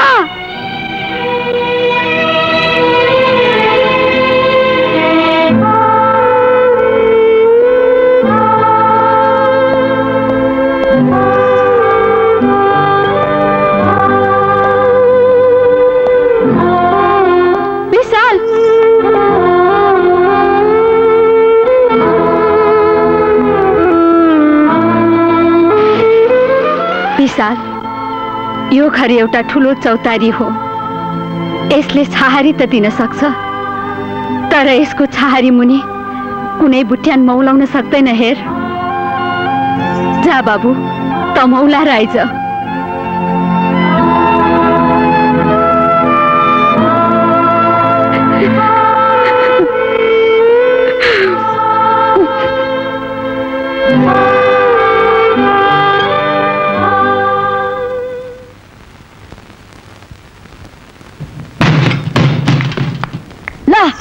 न्वारानदेखिको सबै लुगा यो थोत्रो बक्सामा छ। जहाँ जानु मन लाग्छ जानुहोस् जहाँ जानु मन लाग्छ जानुहोस् पहिला कहाँ जानु लाग्यो त्यो सोध न कहाँ जानु लाग्नु भएको? ए काठमाडौँ हङकङ काठमाडौँ आवत जावत गर्ने हवाई टिकट चिट्ठामा परेको छ मलाई। अब त हङकङै बसिन्छ उतै मोज गरिन्छ। त्यसो भए मलाई पनि लानुहोस् न त। मिल्दैन। यो त एकजनालाई मात्रै आवत जावत गर्ने टिकट हो। Tata bye bye. अब त अङ्ग्रेजीमा बोलिन्छ हरेक कुरा। यस्तो घर त आक थुक यस्तो स्वास्नी त छि छि छि छि छि यस्तो ससुराली त आछु। ए आफू त हिँडिन्छ। अब ए हजुर कहाँ जान लाग्नु भएको काली ओराली गर्दै न। खोला नाला न। तर्दै हजुर, सुन्नुहोस् न, ट्याङ्का ल, हिँडे। डलर कमाउन कमाउन। हजुर साँच्चीकै हङकङ हिँड्नु थाल्नु भएको हो कि क्या हो? अनि के त यो ठट्टा हो त? मलाई बाउला कुकुरले टोकेको छ र नत्र यत्रो ट्याङ्का बोकेर हिँड्नलाई साँच्चीकै जान्ला म त हङकङ। उतै अर्को स्वास्नी ल्याउने हो कि? ल्याउनै पर्यो नि। अब यस्तो कालो कपाल हो कि स्वानी कुरेर बस्ने जमाना गए? अब त हङकङमा गएर खैरो कपाल भयो कि गोरी केटी राखेर बसिन्छ। त्यसलाई म यहाँ ल्याए पो हेर्नुहोस् है अहिले म हिर्काइदिन्छु। के हिर्काउनु? अब हिर्काएर बसिराख तिमी। म त खैरानीको माया लिन हिँडे। Bye bye. हजुर सुन्नुहोस् न। ए दाइ के यो बुढो गोरले हलो ताने जस्तो बिस्तारै चलाएको? योभन्दा पहिले तिमी हलो जोथ्यौ कि क्या हो? कसलाई बुढो गरौँ भनेको? मलाई? रोकुन टेम्पो खेल्छस्? फेरि चाल पालोस् को बुढो को तन्नेरी? त्यसरी नरिसाउनुहोस् न दाइ हेर्नुहोस् न एयरपोर्ट समयमा पुगेन भने प्लेनमा सिट पाइँदैन क्या? फेरि त्यो मोरो कन्ट्याक्टरले मुडा तेर्साइदिन्छ भने अब यहाँदेखि मुडामा बसेर हङकङसम्म कसरी जाने भन्नुहोस् त?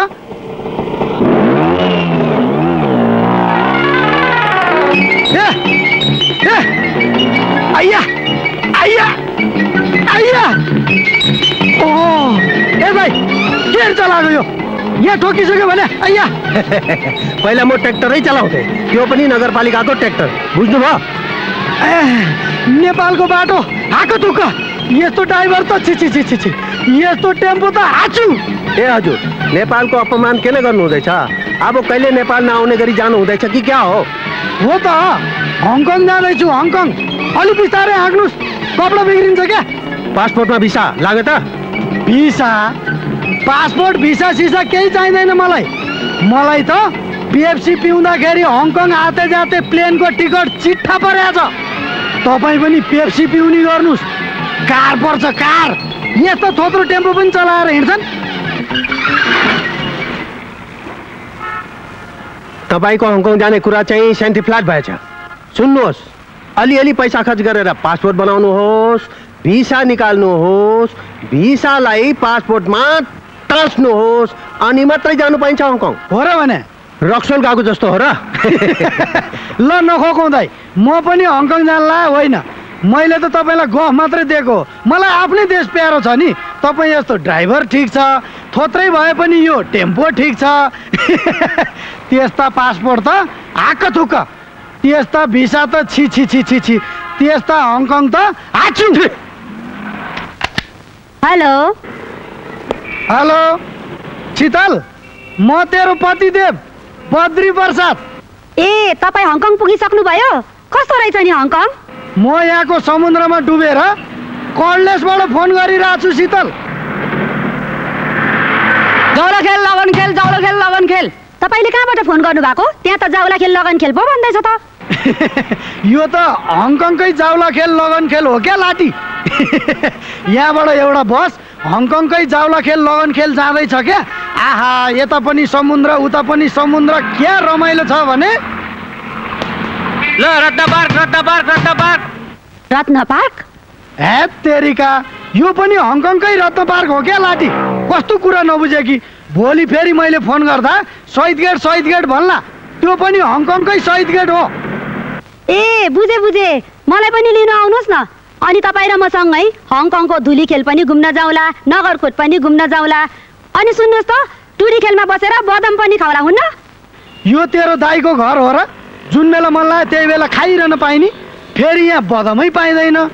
यहाँको नगरकोट त आक तुक्क यहाँको धुली खेल त छि छि छि छि छि यहाँको ककनी त आछु बरु शीतल यहाँको बागमती चाहिँ खुब सफा छ है।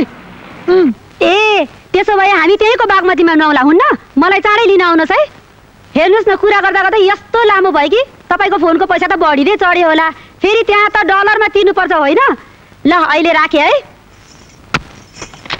आहा क्या मजा? म त हङकङ जान पाउने भएँ त्यहाँको नगरकोट कस्तो राम्रो होला? त्यहाँको बागमती कस्तो सफा होला? आहा मलाई त क्या मजा? तपाईँलाई भने आफ्नो लोनेको मात्र मतलब छ। विशाललाई यो घरमा नआएको यत्रो दिन भइसक्यो। यस घरमा कसैलाई मतलब छैन कसैले खोजनीति गरेको होइन। कुकुर बिरालो हराउँदा त खोजनीति गर्छन्। उहाँ त मान्छे हो। किन कराउँछस् कमल? जाने मान्छेको पैतालाको डोब हेरेर चिन्ता गर्नु। बेकार छ बाबु। मम्मी तपाईँ त मलाई र विशाल दाईलाई आँखाको नानी हो भन्नुहुन्थ्यो। के तपाईँलाई पनि विशाल दाईको चिन्ता छैन? किन चिन्ता लिनु? त्यो को हो र मेरो।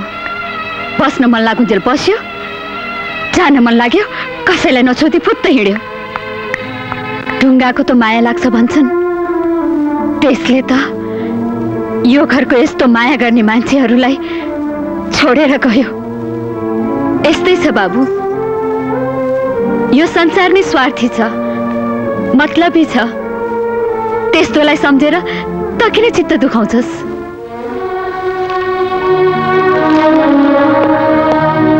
तर मलाई विश्वास छैन। यो घरमा केही न केही पक्कै भएको छ। न त विशाललाई म जस्तो भाइलाई नसोधी जानु हुन्न थियो मम्मी।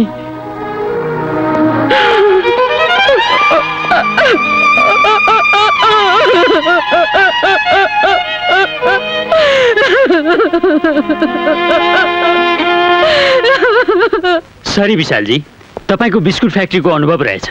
यो त हाम्रो गलैँचा उद्योग पर्यो। यदि तपाईँलाई गलैँचा बुन्न आउँछ भने हाम्रो भन्नु केही छैन। लिनुहोस् तपाईँको फाइल।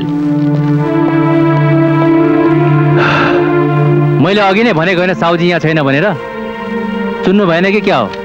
होइन तर आज त उहाँले मलाई इन्टरभ्यूको लागि बोलाउनु भएको थियो। बोलाउनु भएको होला? ठुलाबाट मान्छेको के कुरा गर्ने? उहाँ आज बिहानकै फ्लाइटबाट अमेरिका जानुभयो। जानुहोस् एक महिनापछि आउनुहोस्। निशा तँलाई हामीले सयौँ पटक सम्झाइसक्यौँ। त्यो विशालको कुरै गर्न छाडिदियो भनेर। हो नि त मात्र सिरियस भएर हुन्छ। तैँले त्यो विशाल भन्ने केटालाई बिर्सनै पर्छ। कसरी बिर्सिम उसलाई? मैले उसँग नाटक गरेकी होइन प्रेम गरेकी हुँ। विशाल? तिमी यो हालतमा? निशा मेरो लागि कुनै पनि काम नराम्रो होइन। आखिर काम भनेको कामै हो। तर यस्तो काम यो काम तिम्रो लागि होइन विशाल। किन गरेको यस्तो काम? किन छोडिदियो यो काम? पैसा राख। अरू पनि चाहियो भने मलाई भन। भन विशाल कति पैसा चाहियो तिमीलाई? भन विशाल कति पैसा चाहियो? म दिन्छु तिमीलाई।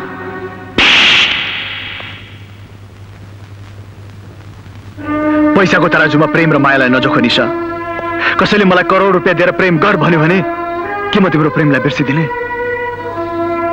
सायद मलाई यस रूपमा देखेर तिम्रो इज्जत गयो होला।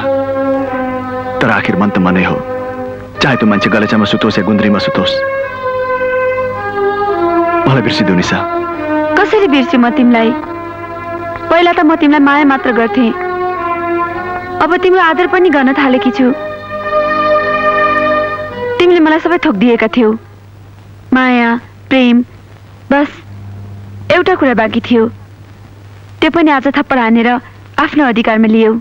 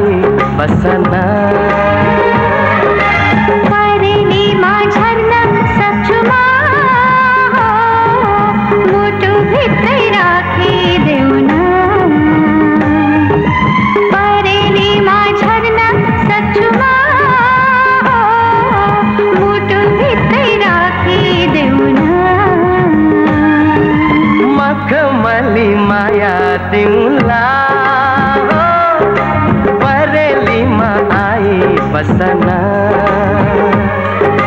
मखमली माया दिउला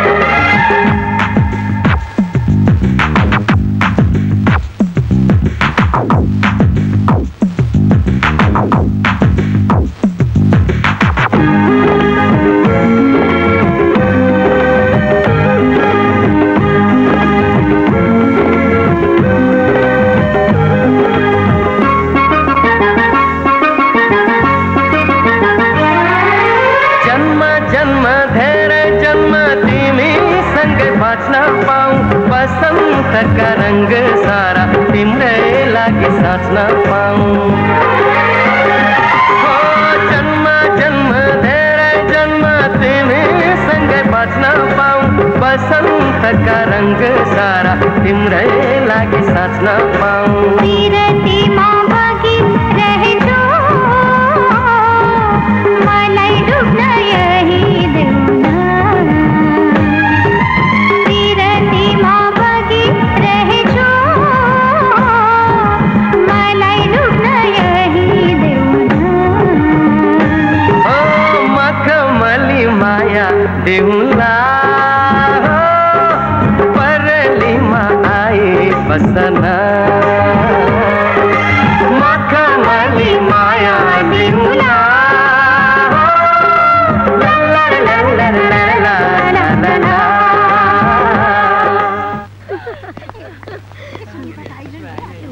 विशाल दाई तपाईँलाई तुरन्त मालिकनीले बोलाउनु भएको छ। मालिकनीले हो विशाल मैले नै तिमीलाई बोलाएकी मैले काम गर्ने रेस्टुरेन्ट तपाईँको भन्ने थाहा पाएको भए म यहाँ कहिले पनि काम गर्दिनँ थिएँ विजयलक्ष्मीजी। त्यो दिगम्बरले तिमीलाई ननिकालेको भए तिमीले यो रेस्टुरेन्टमा काम पनि पाउने थिएनौ। विशाल मैले तिमीलाई निकाल्न होइन। योभन्दा राम्रो काम दिने बारे सोचेकी छु। मैले बुझिनँ। तिमीलाई थाहा भएकै कुरा हो। आजभन्दा बत्तिस वर्ष अगाडि मेरो खानदानी बिस्कुट कम्पनी राम्रै चलेको थियो। तर एकाएक हुरी आएर सब भत्ताभुङ्ग भयो। यो सबै कुराहरू मलाई किन सुनाइरहनु भएको छ? म चाहन्छु खानदानी बिस्कुट कम्पनीमा लागेका तालचाहरू फेरि खोलियोस्। तिम्रा हातहरूबाट वर्षौँदेखि खिया लागेका मेसनहरूले पुनः जीवन पाउन्। तर तपाईँ के आधारमा म माथि यत्रो विश्वास गर्दै हुनुहुन्छ? हिराको मोल त एउटा हिराको व्यापारीलाई थाहा हुन्छ विशाल। तिमी जस्तो हिरालाई विजयजीले केही ठाउँ दिँदै हुनुहुन्छ। जनता बिस्कुटमा तिमीले गरेको यत्रो कामको अनुभव यो एउटा वेटरको युनिफर्मभित्र गुम्स्याएर नराख तिमी। तर मामा तपाईँहरूले कतै आज मेरो लाचार्य र व्यवस्थालाई देखेर दया गर्न खोज्नु भएको त होइन? दया गर्नेले कहिले पनि हात फैलाउँदैन विशाल। तिमी जस्तो पौरखी मान्छेलाई भेटेपछि मेरो सुतिरहेको व्यापारी मनले आँखा खोलेको छ। त्यसैले म हात फैलाएर भन्दैछु मेरो कम्पनी तिम्रै हो।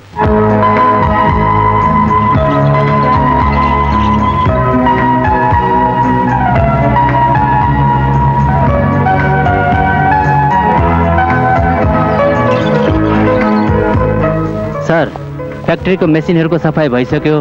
अब काम गर्ने मान्छे कहाँबाट ल्याउने? यसो गर्नुहोस्। पत्रिकामा मजदुर चाहियो भनेर विज्ञापन दिनुहोस्। त्यो पनि दोब्बर तलब दिने गरी। यो फ्याक्ट्री यो गोदाम आज किन सुनसान छन्? सिद्धान्त रामजी यी मिसिनहरू किन बन्छ आखिर सारा मजदुरहरू कहाँ गए? सर खानदानी बिस्किट कम्पनीले सबै कामदारहरूलाई यहाँभन्दा बढी तलब दिएर लिएर गए। अनि मिस उषा तिमी किन गएनौ? सर मलाई काम गर्ने पहिलो मौका यही कम्पनीले दियो। त्यसैले म यो कम्पनी अन्तिम अवस्थासम्म छाड्न सक्दिनँ। हुँ, सिद्धान्त रामजी यो सब के हो? यो सब त्यही विशालले गर्दा भएको हो दिगम्बरजी। त्यसले यतिका वर्ष हाम्रो कम्पनीमा काम गर्यो काम सिक्यो र आज गएर हाम्रै शत्रुहरूसँग हात मिला त्यसले। सुन्दैछु एजेन्टहरूलाई पनि त्यसले हामीले भन्दा बढ्ता कमिसन दिइरहेछ अरे। लाज लाग्दैन तपाईँलाई त्यसो भन्न? विशालले त्यत्रो गरुन्जेलसम्म तपाईँले के हेरेर बस्न भएको थियो? यो सब तपाईँको लापरवाहीले भएको हो। तपाईँले मजदुरहरूको भलोको बारेमा केही सोच्नु भएन। उनीहरूको सुविधाहरूको बारेमा केही गर्नु भएन। यी कुराहरू विशाललाई थाहा थियो अनि त्यसले यसको फाइदा उठायो। सोच्नुहोस् सोच्नुहोस् सिद्धान्त रामजी पार्टनर भएपछि तपाईँले पनि केही गर्नुपर्छ।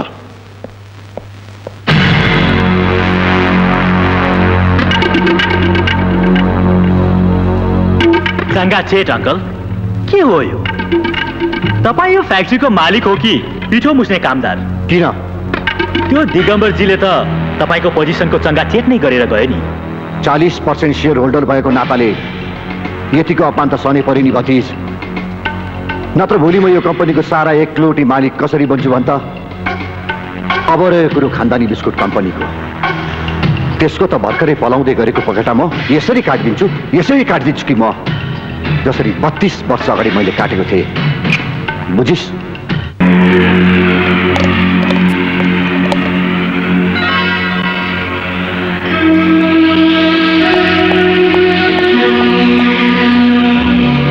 त्यो बक्सामा के हाल्यो? पोइजन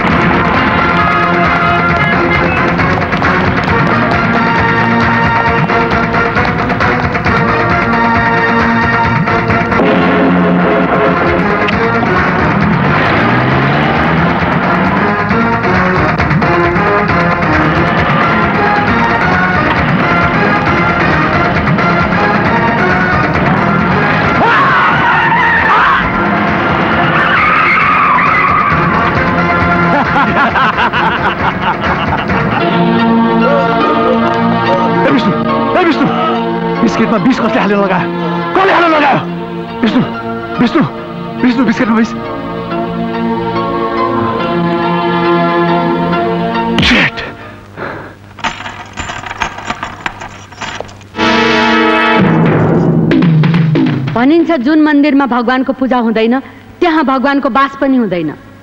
त्यो दिगम्बर मूर्ख हो विशाल जसले तिमी जस्तो शालिग्रामलाई ढुङ्गा सम्झेर फालिदियो। मैले सोचेकी पनि थिइनँ विशाल तिमीले यति छोटो समयमा भए पनि धेरै प्रगति गरेर देखायो। तर यो साँचो? यो साँचो तिम्रो नयाँ बङ्गलाको हो विशाल। म चाहन्न कि मेरो म्यानेजिङ डाइरेक्टरको एउटा जाबो बङ्गला पनि नहोस्।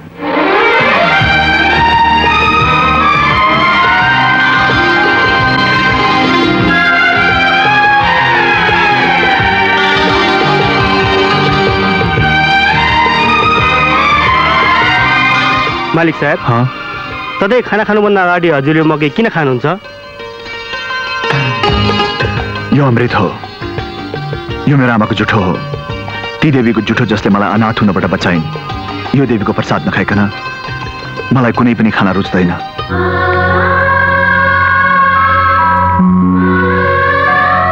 मालिक साहब तर यो प्रसाद त सकिन लगाइसक्यो त्यसो भए भोलिबाट भोकै बसौँला। आमा? विशाल सधैँ मेरो जुठो खाना कहाँ पाउँछस् तैँले? म मरे भने के गर्छस्? त्यस्तो कुरा नगर्नुहोस् आमा। मान्छे पो मर्छ तपाईँ त देवी हो। विशाल म देवी होइन। म त मात्र आमा हुँ। मलाई गर्व छ। तैँले यत्रो उन्नति गरिस्। त मेरो लागि के होस् भन्ने कुरा मलाई मात्रै थाहा छ। मेरो कारण त भोकै पर्छस् भने म तँलाई आजदेखि मेरो जुठो खानुबाट मुक्त गरिदिन्छु।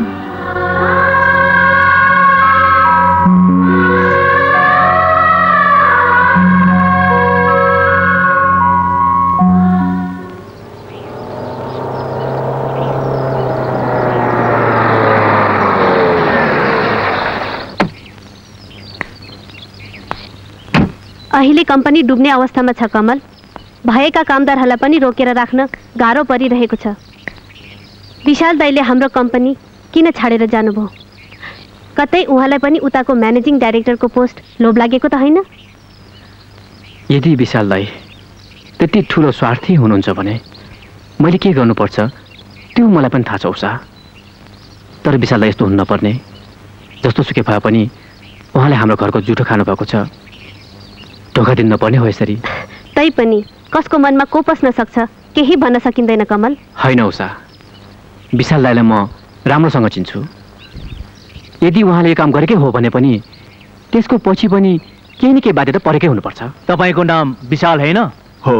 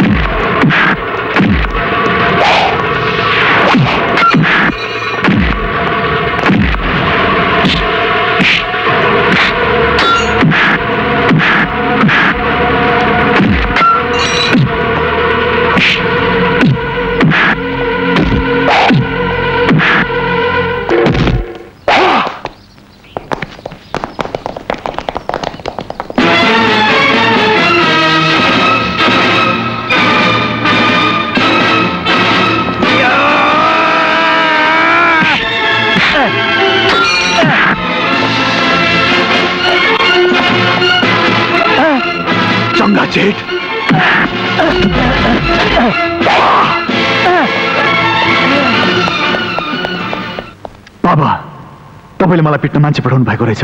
के भनिरहेछस् त यो? विशाल म रक्षानमा ढुङ्गा हानेर आफ्नो मुखमा छिटा पार्ने खालको मान्छे होइन।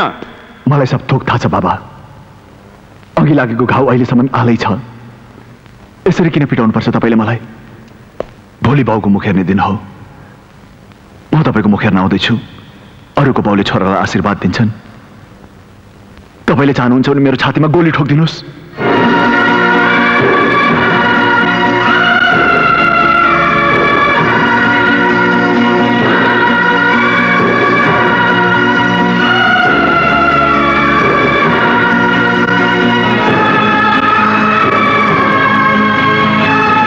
बाबा बुवाको मुख हेर्ने दिन छोराले एउटा न एउटा उपहार दिने गर्छन् र बुवाले आशीर्वाद पनि दिने गर्छन्। आशीर्वादको सट्टामा मलाई अगाडिबाट घात गर्नुहोस्। म लिन तयार छु। तर पछाडिबाट घात नगर्नुहोस् बाबा। कसले गर्यो त माथि पछाडिबाट घात? तपाईँकै मान्छे उत्तमले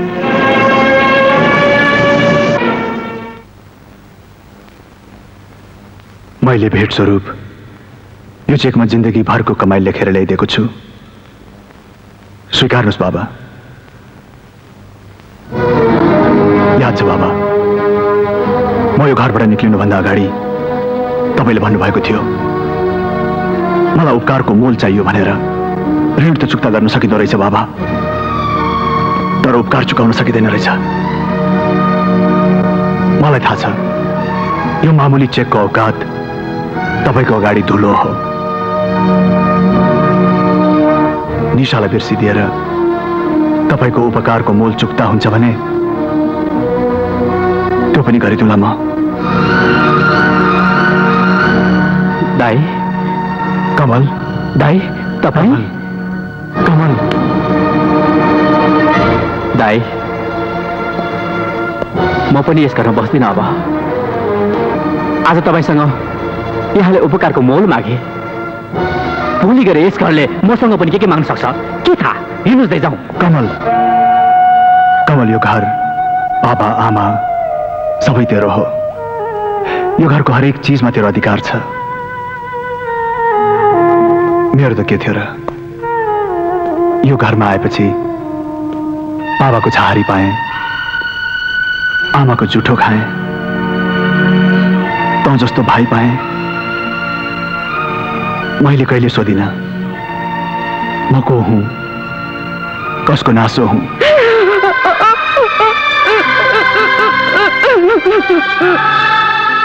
आज जुन इज्जत र पोजिसन छ मसित त्यो सब यो घरले गर्दाखेरि पाएँ। यो घरले गर्दाखेरि प्लास्टिक टिप्दै कसैको जुठो खानु परेन। होटेलमा कसैको भाँडा माझ्नु परेन। एउटा गरिबको घरमा जन्मेर पनि कुन्द्रीमा सुत्नु परेन। मखमली ठाट पाएँ मैले शिक्षा पाएँ उज्जवल भविष्य पाएँ एउटा राम्रो संस्कार पाएँ। त्योभन्दा बढी मलाई के चाहियो? घर छोडेर जाने कुरा नगर कमल। यो घरको मालिक होस् त। यो घरको दियो होस् त।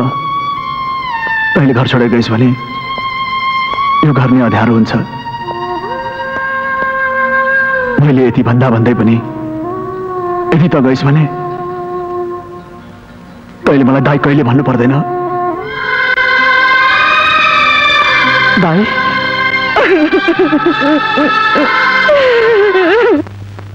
दिगम्बरजी यो के भन्दै हुनुहुन्छ तपाईँ? उत्तम विशाललाई मार्न किन जान्छ? यो पक्कै पनि विशालको नयाँ चाल हो हामीलाई सगाप पार्न। त्यसले हामीहरू बिच फाटो ल्याउन खोजिरहेको छ। सिद्धान्त रामजी उत्तम कस्तो मान्छे हो? म राम्रै चिन्छु। तपाईँ सधैँ उसको पक्षमा किन बोल्नुहुन्छ? बरु उसलाई तपाईँले सम्झाउनुहोस्। उत्तमलाई त म सम्झाउला। तर त्यो सडेर फालेको विशाल जस्तो चिजलाई तपाईँ किन टिप्न खोज्दै हुनुहुन्छ? दिगम्बरजी यो सोच्नु पनि तपाईँको भुल हो।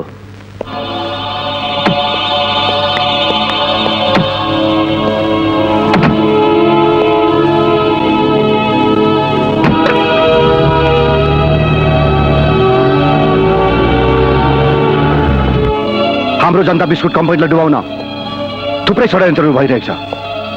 विशाल र विजयलक्ष्मी जस्ता शत्रुहरूलाई त हामी प्रत्यक्ष देख्छौँ। तर हामीले स्वयं हाम्रो कम्पनीमा शत्रुहरू पालेका छौँ। जसले धमिरा बनेर कम्पनी त कम्पनी परिवारलाई सबै भित्रभित्रै खाइरहेको छ।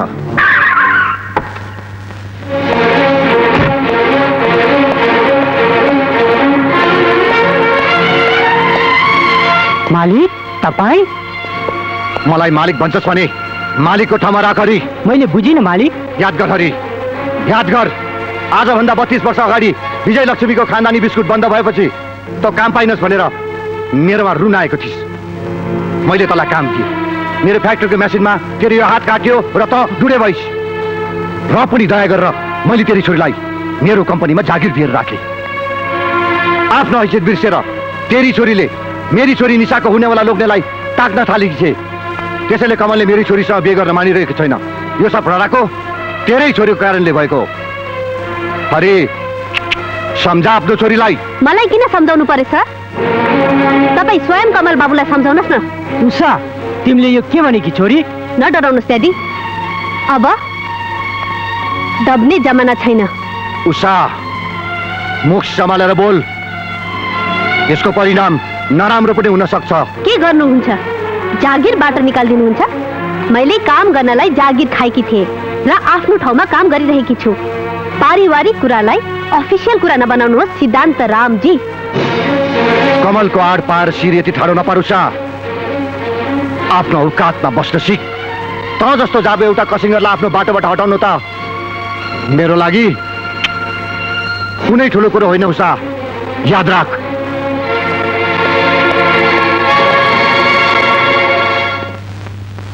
मिस उषा हाम्रो अफिसलाई अब तिम्रो आवश्यकता छैन।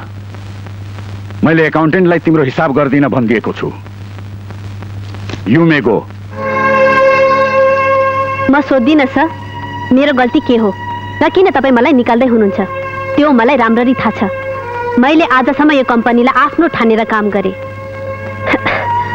आज मैले त्यसको फल पनि पाएँ। Thank you so much sir. पर्ख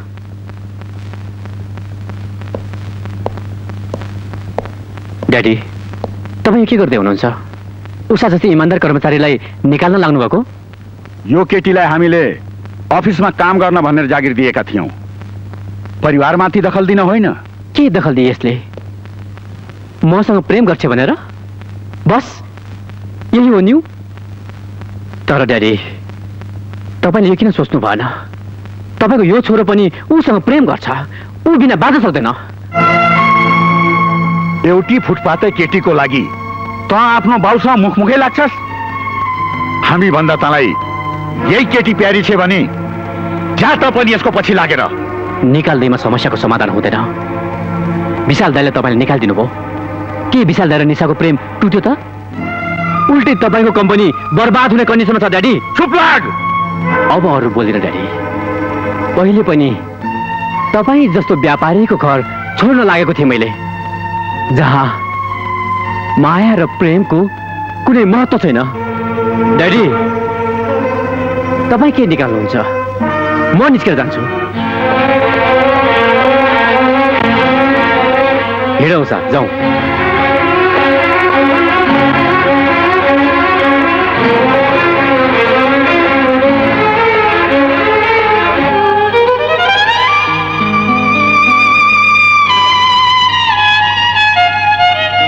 जे भए पनि गङ्गा म त्यसको बाउ हुँ। बाउ भएको नाताले दुई चार कुरा मैले भन्दैमा घरै छाडेर जानुपर्ने स्थिति त थिएन नि। मम्मी। कमल? बाबू? बाबू? कहाँ गएको थिइस् जाउँ हिँड खाना खान जाउँ मम्मी कहीँ खाना खाना नपाएर म तपाईँहरूको खाना खाना आएको होइन। भोलि गणेश मन्दिरमा मेरो र उसको बिहा हुँदैछ। छोरो भएको नाताले म तपाईँलाई निम्तो मात्र दिन आएको। कमल यति राति कहाँ जान्छस् बा? यसरी घर छोडेर जानुहुन्न छोरा। मम्मी विशाल दाईले तपाईँले यो घरबाट पठाएर मौलाउने मौका दिनुभयो। तपाईँले चाहिँ मलाई कति जेलसम्म यो छारीमा गुम्साएर राख्नुहुन्छ मम्मी।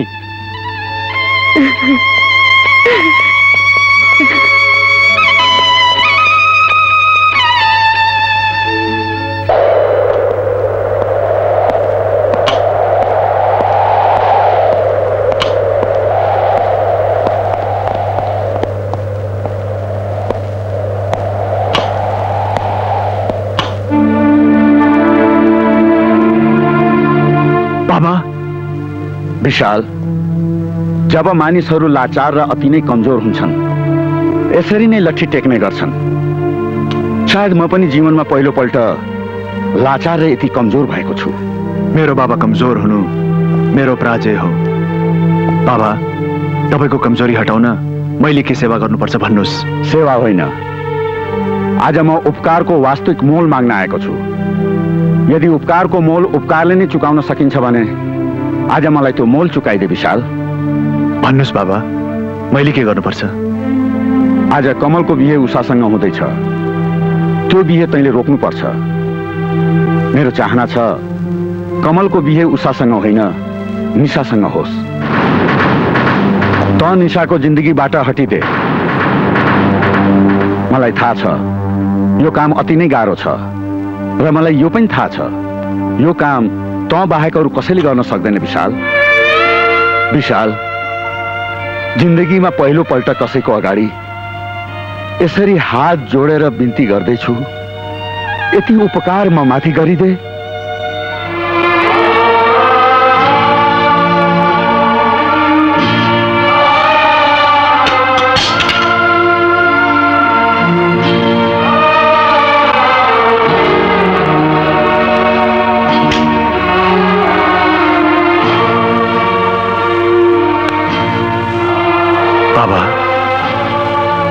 आजसम्म मैले तपाईँबाट लिएको मात्रै छु। केही दिन सकेको छैन। यसरी हात जोडेर मेरो अपमान नगर्नुहोस्। बरु मैले के गर्नुपर्छ? मलाई हुकुम दिनुहोस् बाबा। यो छोराले आफ्नो प्रेमको बलिदान त के? आफ्नो ज्यान दिन पनि तयार छ। राम राम राम राम। तर एकले अर्कालाई मन पराइसकेपछि साइत र कुसाइतको त के कुरा भो र अब एकले अर्कालाई माला लगाइदिएर यो ब्राह्मणलाई राम राम्रोसित दक्षिणा दिएपछि त भइहाल्छ नि राम।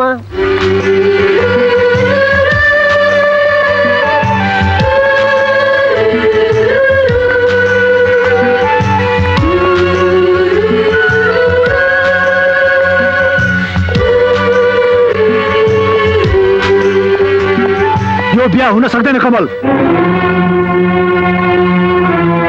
किन हुन सक्दैन यो बिहा? किनकि उषा तेरो सम्पत्तिको पछाडि परिरहेकी छ। छाप्रोबाट महलसम्म पुग्ने त्यसले तँलाई सिडी बनाइरहेकी छ। होइन विशाललाई उषा त्यस्तै केटी होइन। तपाईँ भ्रममा हुनुहुन्छ। ताल माथिबाट जतिसुकै शान्त भए पनि त्यसको गहिराई नाप्न सकिँदैन। उषा पनि एउटा शान्त ताल हो जसको षड्यन्त्र तैँले बुझेको छैनस् कमल। यसलाई राम्ररी थाहा छ। वैशको बोझ। र त्यसमाथि डुडे बाउको भारी बोकेर यो संसारमा बाँच्न कति गाह्रो छ भनेर। र त जस्तो धनी केटालाई हात पारेपछि भविष्यमा बाँच्न कति सजिलो हुन्छ भन्ने कुरा पनि यसलाई राम्ररी थाहा छ। यदि त गरिब हुँदो होस् त। यसले तँलाई फर्केर पनि हेर्दिन थिए। तपाईँले धेरै भनिसक्नुभयो विशाल दाई। धेरै भन्नुभयो। यसरी भनेर मानवताको सीमालाई ननाग्नुहोस् तपाईँ। म होइन। सीमा तिमी नाग्दैछौ तिमी आफ्नो स्वार्थको लागि एउटा परिवारलाई टुक्राउने प्रयास गर्दैछौ। कमल कुनै फुटपाथमा जन्मेको एउटा केटा त होइन नि। आमा बाबु संस्कार इज्जत सम्पन्नता सबै छ उसँग। आज यहाँ बिहा त हुँदैछ। त्यत्रो ठुलो बाउको छोराको बिहामा जन्ती खोइ। खोइ। आफन्तहरू खोइ। बेहुलीले बिहा गर्दाखेरि सासू ससुराले दिएको गहनाहरू र लुगाहरू लगाउँछन्। के तिम्रो सासू ससुराले दिएको लुगाहरू र गहनाहरू? यही नै हो। उषा एकछिन पर्ख। उषालाई मैले रोजेको हुँ। मेरो व्यक्तिगत कुरामाथि दखल दिन खोज्ने तँको होस् हँ? तँको होस्। मेरो खुसी बितुल्न खोज्ने तँको होस्। नुन खाएपछि नुनको सोझो गर्न सिक मिस्टर विशाल। त्यही नुनको सोचो गर्न आएको हुँ म यहाँ तेरो बिहाको भोज खान आएको होइन म। बस मैले यति गर्नु थियो गरेँ मेरो काम सक्यो यहाँ। नालायक! तैँले मेरो घरले त माथि गरेको उपकार? आजसम्म मैले तँलाई दाई भनेर माने। आज म माथि नै विश्वासघात गर्ने म तेरो घरको जुठो खाएर मात्र हुर्केको विशाल होइन। खानदानी बिस्कुट कम्पनीको म्यानेजिङ डाइरेक्टर पनि हुँ। आइन्दा यो हात म माथि उठाउनु भन्दा अगाडि त्यो कुरा पनि ख्याल राखेस्। बाँकी रह्यो तेरो घरले म माथि गरेको उपकारको कुरा। त्यो उपकारको बदला त मैले चुकाइसकेँ! कमल विशाल दाईले भन्नुभएको कुरा ठिक हो। मैले नै आफ्नो हैसियत बिर्सिएर जुन जीवन जिउने सपना देखेकी थिएँ त्यो एउटा भ्रम रहेछ धोका रहेछ। उषा यो तिमी के भन्दैछौ छोरी? हो बाबा म यो विवाह गरेर तपाईँदेखि टाढिन चाहन्न। छोरी म त डाँडामाथिको घाम भइसकेको छु छोरी। त्यही माथि डुँडो छु। यो अपाङ्ग बाउको पछाडि लाएर आफ्नो जीवन किन अपाङ्ग बनाउँछौ छोरी? तिमी आफ्नो घर बसाल छोरी। म तिम्रो जीवनमा गाडो भएर बाँच्न चाहन्न छोरी। म सधैँको लागि तिमीबाट टाढा भइदिन्छु छोरी। बाबा। तपाईँ किन टाढा जानु पर्यो? म पनि त तपाईँको छोरा सर हुँ। म गर्छु तपाईँको हेरचाह। उषा कसैको कुराको लहलयमा लागेर यसरी हिँड्नु राम्रो होइन। आज म सेठ दिगम्बरको छोरा कमल होइन। मात्र कमल। तिम्रो कमल भएर आज म तिम्रो हात थाम्न खोजिरहेको छु। नारीको जिन्दगी त्यति सस्तो छैन कमल बाबु। मैले तपाईँको घरमा कहिले पनि बुहारीको दर्जा पाउन सक्दिनँ। न त म त्यो घरमा दासी भएर नै बाँच्न चाहन्छु। जाउँ हेर्नुहोस् बाबा हामी जाउँ। उषा उषा उषा। उषा उषा बरु हामी अन्त्य कतै गएर घर बसौँला हुन्न? नारीले घर बसाउन जाने कि हुन्छ कमल बाबु? भत्काउन होइन। म तपाईँको आमा बुवाबाट तपाईँलाई खोज्न सक्दिनँ। त्यसैले आज उपरान्त म जसरी तपाईँलाई बिर्सिदिन्छु तपाईँले पनि मलाई त्यसरी नै बिर्सिने प्रयास गर्नुहोस्। उषा! राम राम राम राम राम। सोनीले बिहे गराउन दिँदैन भनेर मैले पहिले भनेको थिएँ। खोइ त मेरो दक्षिणा राम? दिनभरि करायो दक्षिणा हरायो भनेको यही हो Ram.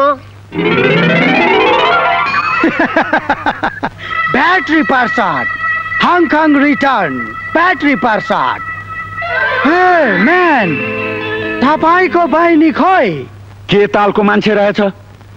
यो खैरे मेरो घरमा किन आयो? ए घुम्न जाने भए स्वयम्भू जाओ ठमेल जाओ हनुमान डोका जाओ पाटन जाओ भक्तपुर जाओ मेरो घरमा किन आएको हे म्यान म केही नजाने म यहीँ आएको। हा के भन्छ हा जेठान जेठान तपाईँले मलाई चिन्नु भएन? म तपाईँको joy battery Prasad battery. Battery? के को ब्याट्री? गाडीको ब्याट्री कि टर्च लाइटको ब्याट्री? हो नो म तिम्रो ब्याट्री। म हङकङमा बसेर आफ्नो मनलाई चार्ज गरेर आएको तिम्रो ब्याट्री तिमीले चिनेन? ए तपाईँ पो रहेछ। त्यसो भए त आउन अगाडि फोन गरेको भए म एयरपोर्टमा लिन आइहाल्थेँ नि। हो नो। म प्लेनमा आएको होइन। म त ट्याक्सी रिजर्भ गरेर हङकङदेखि यहाँसम्म आएको। किन नि तिमीलाई लिन। अब हामी यो घरमा धेरै बस्नु हुँदैन। आफ्नै घरमा गएर बस्नु पर्छ। नाइ म त बस्दिनँ त्यस्तो थोत्रो घरमा। तिमी नबस्ने नबस्ने नजाने नजाने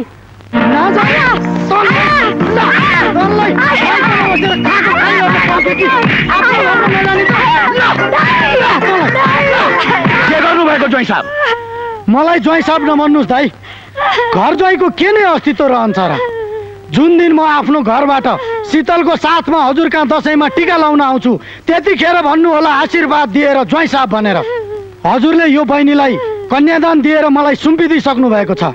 म आज शीतललाई लिएरै जान्छु दाइ मलाई नरोक्नु होला। आइज। बस्न पर्छ चल्छ। जा बहिनी जा। आज ज्वाइँ साहबको आँट देखेर म खुसी भएँ। एउटी स्वास्नी मानिसको लागि आफ्नो लोग्नेको घर नै स्वर्ग हुन्छ। जा त पनि आफ्नो घरलाई स्वर्ग बना। छोरी अब चाँडै नै तिमीले यी गहनाहरू लाउने दिन आइसकेको छ। किनकि कमलसँग तिम्रो बिहे हुँदैछ। कमलसँग? ड्याडी तपाईँले मलाई एकचोटि पनि नसोधी यत्रो ठुलो फैसला गर्नुभएछ। तपाईँलाई राम्रोसँग थाहा छ। म विशालसँग प्रेम गर्छु। नाम नलियो मेरो अघि त्यसको। म त्यसको नाम समेत सुन्न चाहन्न। तर मेरो मनले उसको नाम कण्ठ गरिसकेको छ ड्याडी। यदि त्यसो हो भने तिमीले यो नामलाई सधैँको लागि मेटाइदिनुपर्छ निशा। मनको कुरा मेटिँदैन ड्याडी। यो कुनै ब्ल्याकबोर्डमा चकले लेखेको नाम होइन। जसलाई कुनै डस्टरले मेटाएर मेटियोस्। यो सिद्धान्त राम बिना सिद्धान्तको काम त के? नाम समेत सुन्न चाहँदैन। किनकि मेरो नजरमा पैसाभन्दा ठुलो अरू कुनै चिज छैन निशा। आज दिगम्बरको सारा सम्पत्ति मेरो आँखाको अगाडि झल्झटी नाचिरहेको छ। कमलसित तिम्रो बिहे मैले पैसाको लागि गराउन चाहेको भने अर्कोतिर तिम्रो सुनौलो भविष्यको लागि पनि हो निशा। तिम्रै आमालाई क्यान्सर भएको छ भन्ने कुरा थाहा पाउँदा पाउँदै पनि मैले तिम्रै आमालाई बिहे किन गरेँ? थाहा छ तिमीलाई? मात्र पैसाको लागि। वाह ड्याडी वाह। क्या महान हुनुहुँदो रहेछ तपाईँ। तर एउटा कुरा याद राख्नुहोस् ड्याडी। कागजको ढुङ्गामा बसेर खोला तर्न सकिँदैन। पैसाले किनेको जिन्दगीले कसैको भविष्य सुनौलो बनाउन सकिँदैन।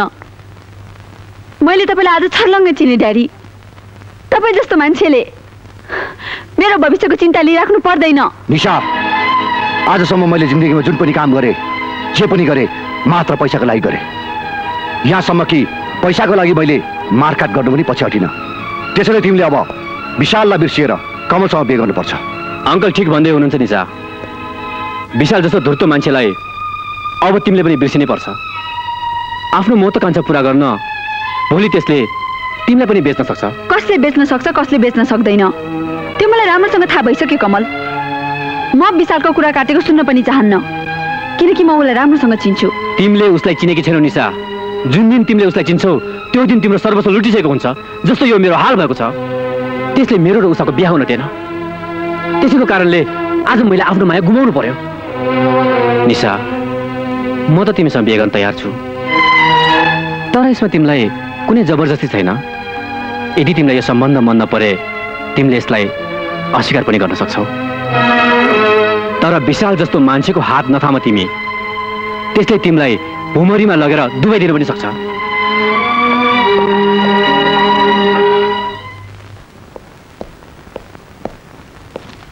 विशाल तिमीले मलाई किन बोलाएको? मामा म यो सहर छोडेर जाँदैछु। विजयलक्ष्मीजी यहाँ हुनुहुन्न।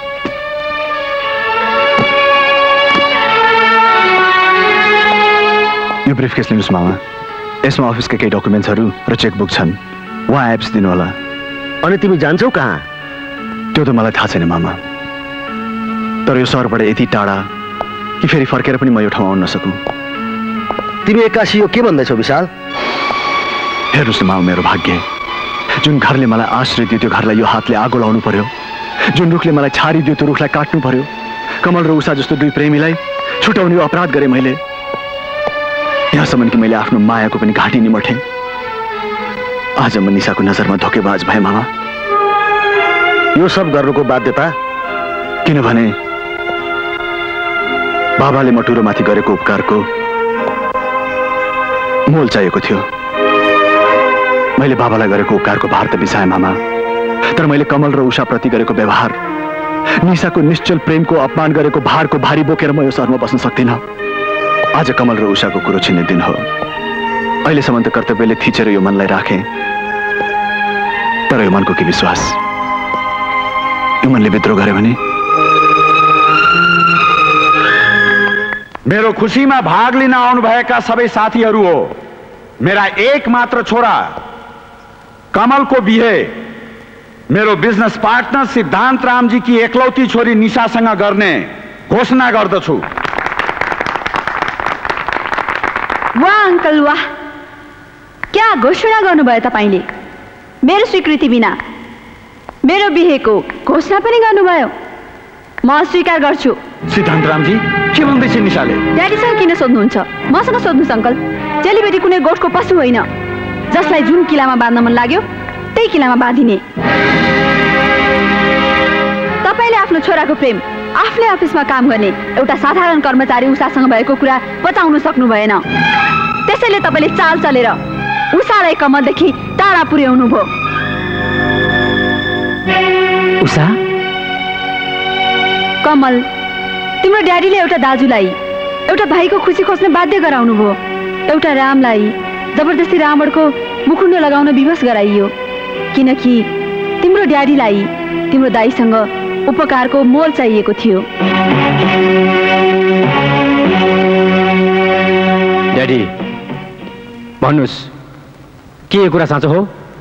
आजसम्म यस खानदानमा बाबुआमाले रोजेको केटी नै यस घरकी बुहारी हुने परम्परा छ।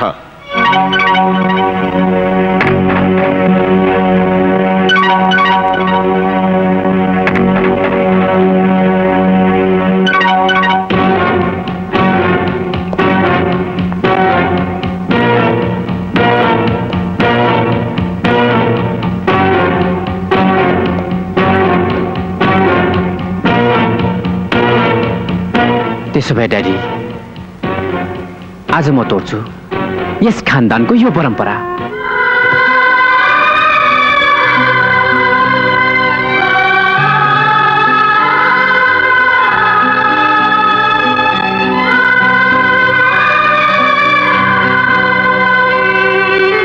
उषा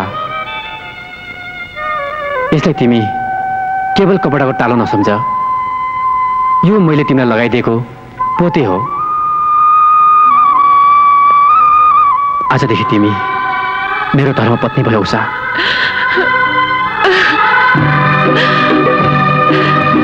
उषा।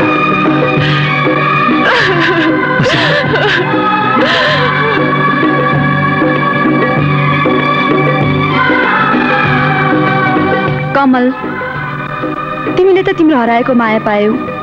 मलाई पनि मेरो विशाल दिलाइदेऊ। विशाल यो सहर छोडेर जाँदैछ। विशाललाई यो सहर छोडेर जानेछ? हो कमल। हामी गएर उसलाई रोकौँ। तिमी चिन्ता नगर निशा। म तिम्रो विशाल तिमीलाई दिलाएर छोड्छु। जाउँ उषा। कमल! कमल! त त्यो केटीको पछि लागेर जान्छस् भने म आफ्नो सारा सम्पत्तिबाट तँलाई वञ्चित गरिदिन्छु। ड्याडी हातको मैला सुनको थैला के गर्नु धनले? सागर सिस्नु खाएकी बेच आनन्दी मनले। यो कुरा सम्झिनुहोस् ड्याडी।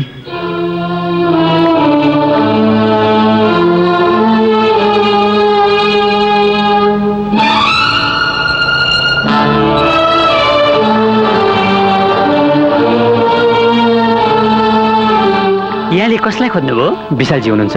उहाँ त यो घर छोडेर गइसक्नुभयो। कहाँ जानुभयो? त्यो त मलाई थाहा भएन। केही केही भनेर जानुभएको छ? छैन। केही पनि भन्नुभएको छैन।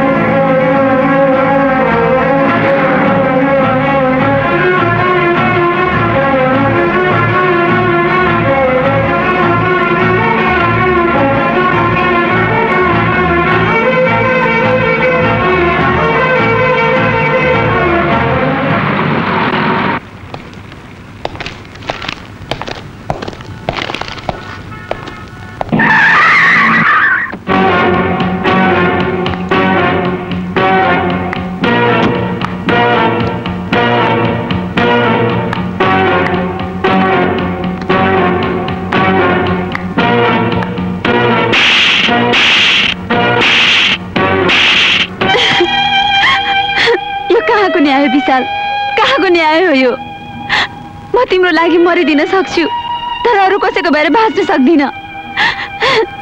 दाई कसैको उपकारको मोल चुकाउन हामीलाई किन बलि दिनुहुन्छ तपाईँ? हामीलाई नै लाज हुने गरिकन किन भगवान् बन्नुहुन्छ तपाईँ? कसै कसैको कर्ममा मान्छे भएर जिउने लेखेको हुँदो रहेछ कमल। बाध्य भएर भगवान् बन्नु पर्दो रहेछ। तर भगवान् बन्नको लागि आफ्नो शरीरबाट आफ्नो मुटु अलग्गै राख्नु पर्दो रहेछ। हामीले सबै कुरा थाहा पाइसक्यौँ दाई। अब त हामीले छोडेर नजानुहोस् यदि तपाईँले हामीले छोडेर गयो भने हामी साँच्चै टुहुरो हुन्छौँ दाई। हामीले घर बार सबै त्यागेर तपाईँका शरण माग्न आइपुगेका छौँ। दाई उसैलाई मैले आफ्नो धर्मपत्नी बनाइसकेको छु। तर हाम्रो मम्मी ड्याडीबाट मैले आशीर्वाद पाउन सकिनँ। तपाईँ त दाई हुनुहुन्छ। दाई पनि बहु सर हुन्छ नि। हामीले आशीर्वाद दिनुहोस् दाई। कमल दाई भाइ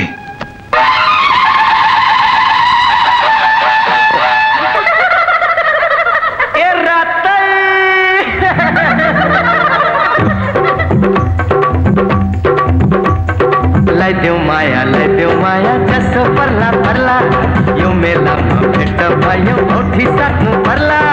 लैदेऊ माया लैदेऊ माया जसो पर्ला पर्ला। यो मेलामा भेट भयो औठी सक्नु पर्ला। पञ्चै बाजा घन्काई। ए जोर मादल रन्काई पञ्चै बाजा घन्काई जोर मादल रन्काई साक्षी राखी सिँदुर हाल्नु पर्ला एउटा गैलाई साक्षी राखी सिँदुर हाल्नु पर्ला लैदेऊ माया लैदेऊ माया जसो पर्ला पर्ला। यो मेलामा भेट भयो औठी सक्नु पर्ला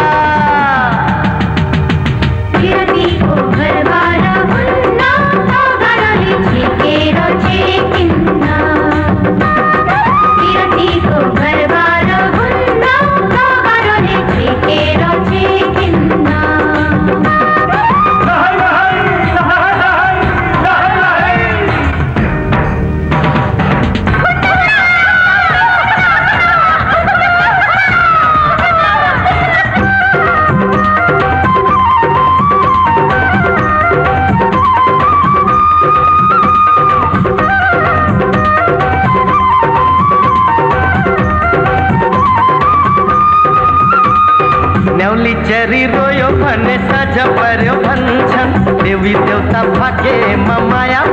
मंथन माया मोक्ष भंजन न्यावली चरी रोयो भने साझ पर्यो भंजन देवी देवता भाकेमा माया मोक्ष भंजन माया मोक्ष भंजन ए पंचे बाजा घनकाई। चोर मादल रनकाई पंचे बाजा घनकाई ज़ोर मादल रनकाई देवा गई सखी राखी सी दुल्हन ऊपर का कैसा चेहरा किसी दुल्हन परला हे लाई देव माया लाई देव माया, छसो परला परला। यो मेला माते दबायो ओठी सातू परला?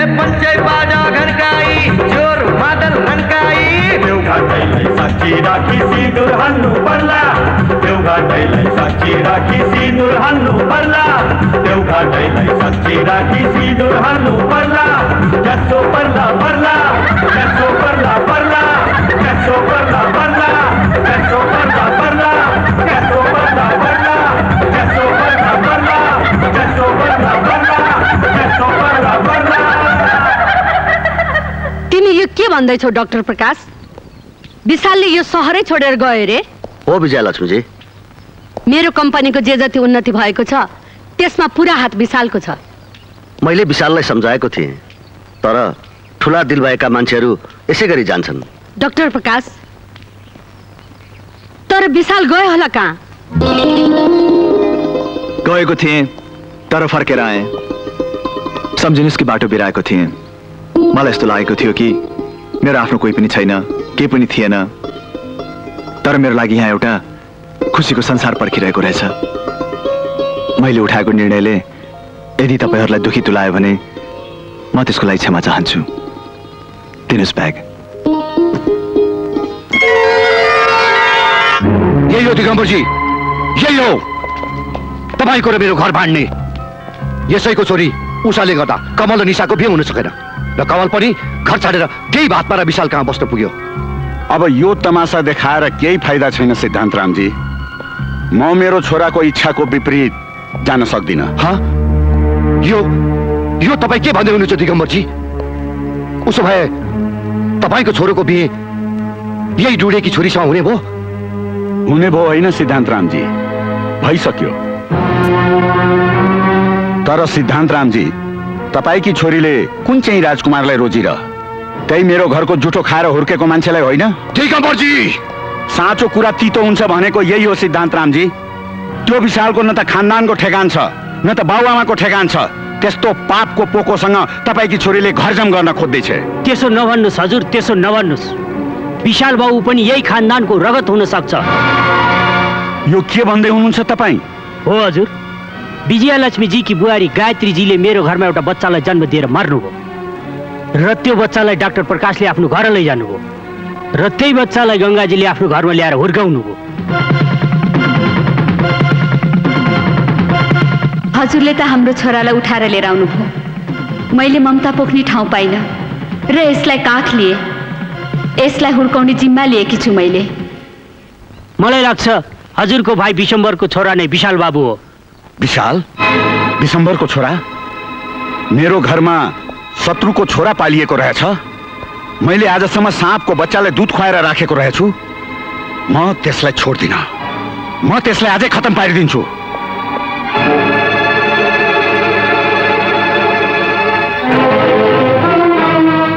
यतिका वर्षसम्म तैँले यो कुरा मबाट किन लुकाइस्? ओहो मालिकनी यो विषयमा अहिले हामी छलफल नगरौँ। पहिले गएर विशाल बाबुलाई बचाउँ। उहाँको ज्यान खतरामा छ। यदि त्यो दिगम्बरले मेरो नातिलाई केही गरिहाल्यो भने म पनि त्यसलाई निसन्तान बनाइदिन्छु। मैले सुनेकी छु आजभोलि त्यसको छोरो पनि विशालकै आएर बसेको छ अरे। हजुरले ठिक सुनिबक्स्यो। आज भोलि बाउ छोराको सम्बन्ध त्यति राम्रो छैन हजुर। विशाल! विशाल! विशाल! विशाल! विशाल! विशाल!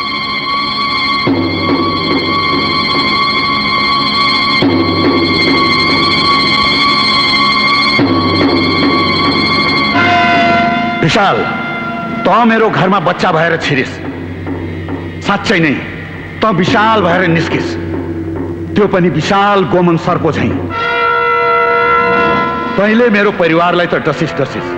त्यतिले नपुगेर तैँले मेरो कम्पनीलाई पनि डुबाइस। आज म तँ जस्तो गोमन सर्पलाई मारेर जेल जान पनि तयार छु। तैँले मेरो नातिलाई गोली हानिस् भने म पनि तेरो छोरालाई गोली हानिदिन्छु। मेरो छोरालाई त मारिस्। आज यसै छैन उसै छैन। म पनि तेरो छोरालाई मारिदिन्छु। तपाईँको छोरालाई कसले मार्यो त्यो मलाई थाहा छैन।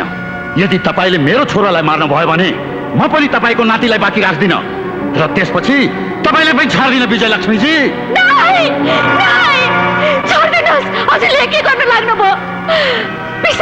मलाई छोड गङ्गा। त मेरी स्वास्नी भएर शत्रुको बच्चालाई आश्रय दिइस्। मैले थाहा पाएको भए पहिले नै यसलाई बच्चामा मारिदिन्थेँ। आज म अझै भन्दैछु मेरो नातिको कञ्चटबाट तेरो बन्दुक हटा। होइन भने त्यो बन्दुक चल्नु अगाडि यो बन्दुक चल्नेछ म हजुर म हजुर बिन्ती यस्तो अनर्थ नगरी बक्सियोस् गङ्गा नकचारीले गर्दा मेरो नातिले कति दुःख भोग्नु पर्यो। यस आरामको जिन्दगी हुँदाहुँदै यसले कति हन्डा र ठक्कर खानु पर्यो? तिमीहरू जस्ताको जुठो पुरो खाएर यसले जिन्दगी बिताउनु पर्यो। आखिर तपाईँ त मेरो शत्रु रहेछस्? हो म शत्रु हुँ। तर हजुरहरूको होइन म आफ्नै कोखको शत्रु हुँ। हजुरहरूको बोस र अहङ्कार र कमण्डले गर्दा विशालले जीवनभर आगोमा हिँड्नु पर्यो। काँडाले घुस्दा पनि यसले यहाँसम्म भनेन। यसको पीडा र चटपटी देखेर। म मनमा नै रुन्थे। जान्न चाहनुहुन्छ जान्न चाहनुहुन्छ विशालको। ऊ मेरो आफ्नै कोखबाट जन्मेको छोरा हो।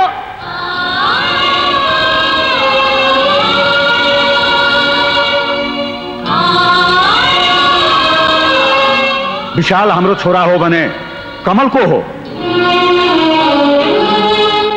कमल। कमल हजुरको भाइ विश्वम्भरको छोरा हो। म माइतमा छँदा प्रकाश दाईले गायत्रीको छोरालाई ल्याउनु भएको थियो। हजुरले त्यसलाई आफ्नो छोरा भनेर उठाएर ल्याउनु भयो हो ज्वाइँ साहब। गङ्गाले ठिक भनिन्। जुन बच्चा मैले हरिकाबाट उठाएर ल्याएको थिएँ त्यो बच्चा तपाईँकै भाइ विशम्बरको थियो। तर डाक्टर प्रकाश हामीसँग यत्रो ठुलो धोका? भाइ भाइ मिले घर बन्छ ज्वाइँ साहब। घर फुटे भग्ना बसैस हुन्छ। त्यसैले तपाईँहरूको खानदानी शत्रुता मेटाउन र दुईवटा चर्किएको पर्खाललाई जोड्न हामीले गायत्रीजीलाई वचन दिएका थियौँ। कमल मेरो नाति? होइन म कमल। नभन्नुहोस् मलाई नाति। रेडिमेड नाति पाए जसले पनि सजिलो स्वीकार्छन् आफ्नो नाति भने थाहा नपाउन्जेल मेरो टाउकोमा बन्दुक त्यसाएर बस्नुभयो। जब आफ्नो नाति भने थाहा पाउनुभयो कुरा बगिहाल्नुहुन्छ तपाईँ? तपाईँ जस्तै घमण्डी हजुरआमा मेरो कदापि हुन सक्दैन। ड्याडी तपाईँको शत्रुको छोरा त म रहेछु चलाउनुहोस्, मेरो छातीमा गोली। तपाईँले म जस्तो शिक्षा दीक्षा दिनुभयो र आफ्नै खुट्टामा आफै बन्चुर हानिरहनु भएको अब जिउँदो नछोड्नुहोस् ड्याडी तपाईँको आफ्नो शत्रुको छोरालाई। तपाईँलाई त आफ्नो शत्रुको छोरालाई जसरी पनि मार्नु छैन ड्याडी म छु। कुन हातले तमाथि गोली चलाऊ कमल? कुन हातले? यही हातले तँलाई हुर्काएको हो। यही कानमा बुई चढेर त यत्रो ठुलो भइस। तेरो खुसी नै मेरो जीवन थियो तेरो हाँसो नै मेरो संसार थियो। म आफ्नो मुटुको टुक्रालाई कसरी चिरा पारू? विशाल आजसम्म मैले तँलाई दुःख दिएँ। एउटा शत्रुले भन्दा बढी दुर्व्यवहार गरेँ। तँलाई छोरा भन्ने अधिकार त छैन मलाई।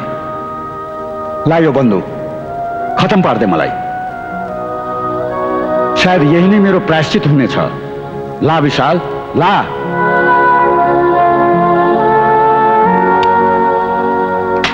बाबा तपाईँ नै रहनु भएन भने मैले कसलाई बाबा भन्ने? विशाल मेरो छोरा।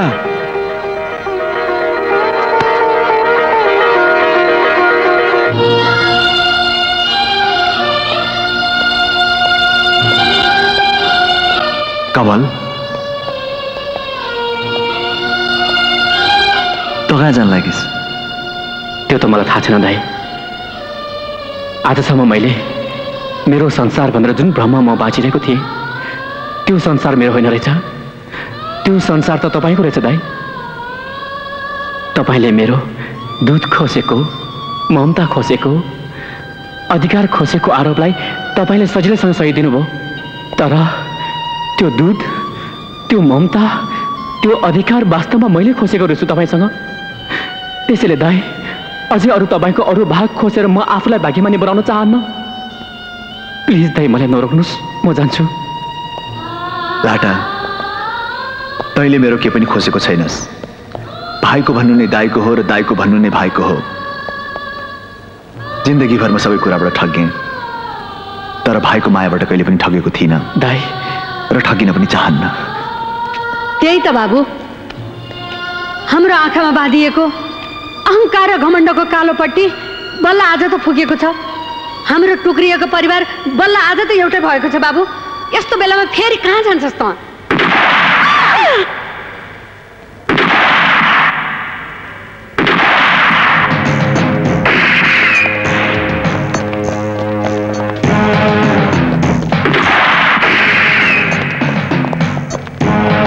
सिद्धान्त राम? दिगम्बर म तेरो यो टुक्रेर छोडेको परिवारलाई आज फेरि टुक्रा टुक्रा पारिदिन्छु। आज टुक्रिएको हाम्रो यो परिवार जोडिएर चट्टान भइसकेको छ सिद्धान्त राम। त के स्वयं यमराज आए पनि यसलाई टुक्राउन सक्दैन यमराज त म आज तेरो अगाडि बनेर आएको छु। दिगम्बर आज तेरो सारा परिवारको क्रिया म यही गरिदिन्छु। बुझिस्? जसरी मैले बत्तिस वर्ष अगाडि तेरो भाइ विशम्बरलाई मारेको थिएँ।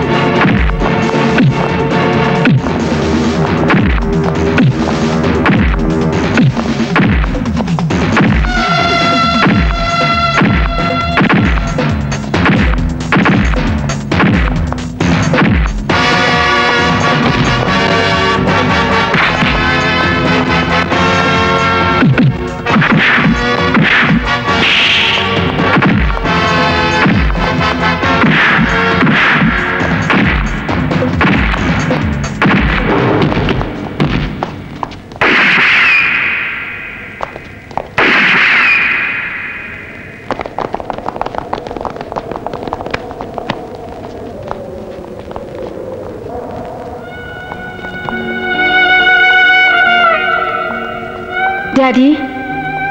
अपराधी भएर जेल जाँदै हुनुहुन्छ। तर फर्कदा एउटा असल नागरिक भएर फर्कनु होला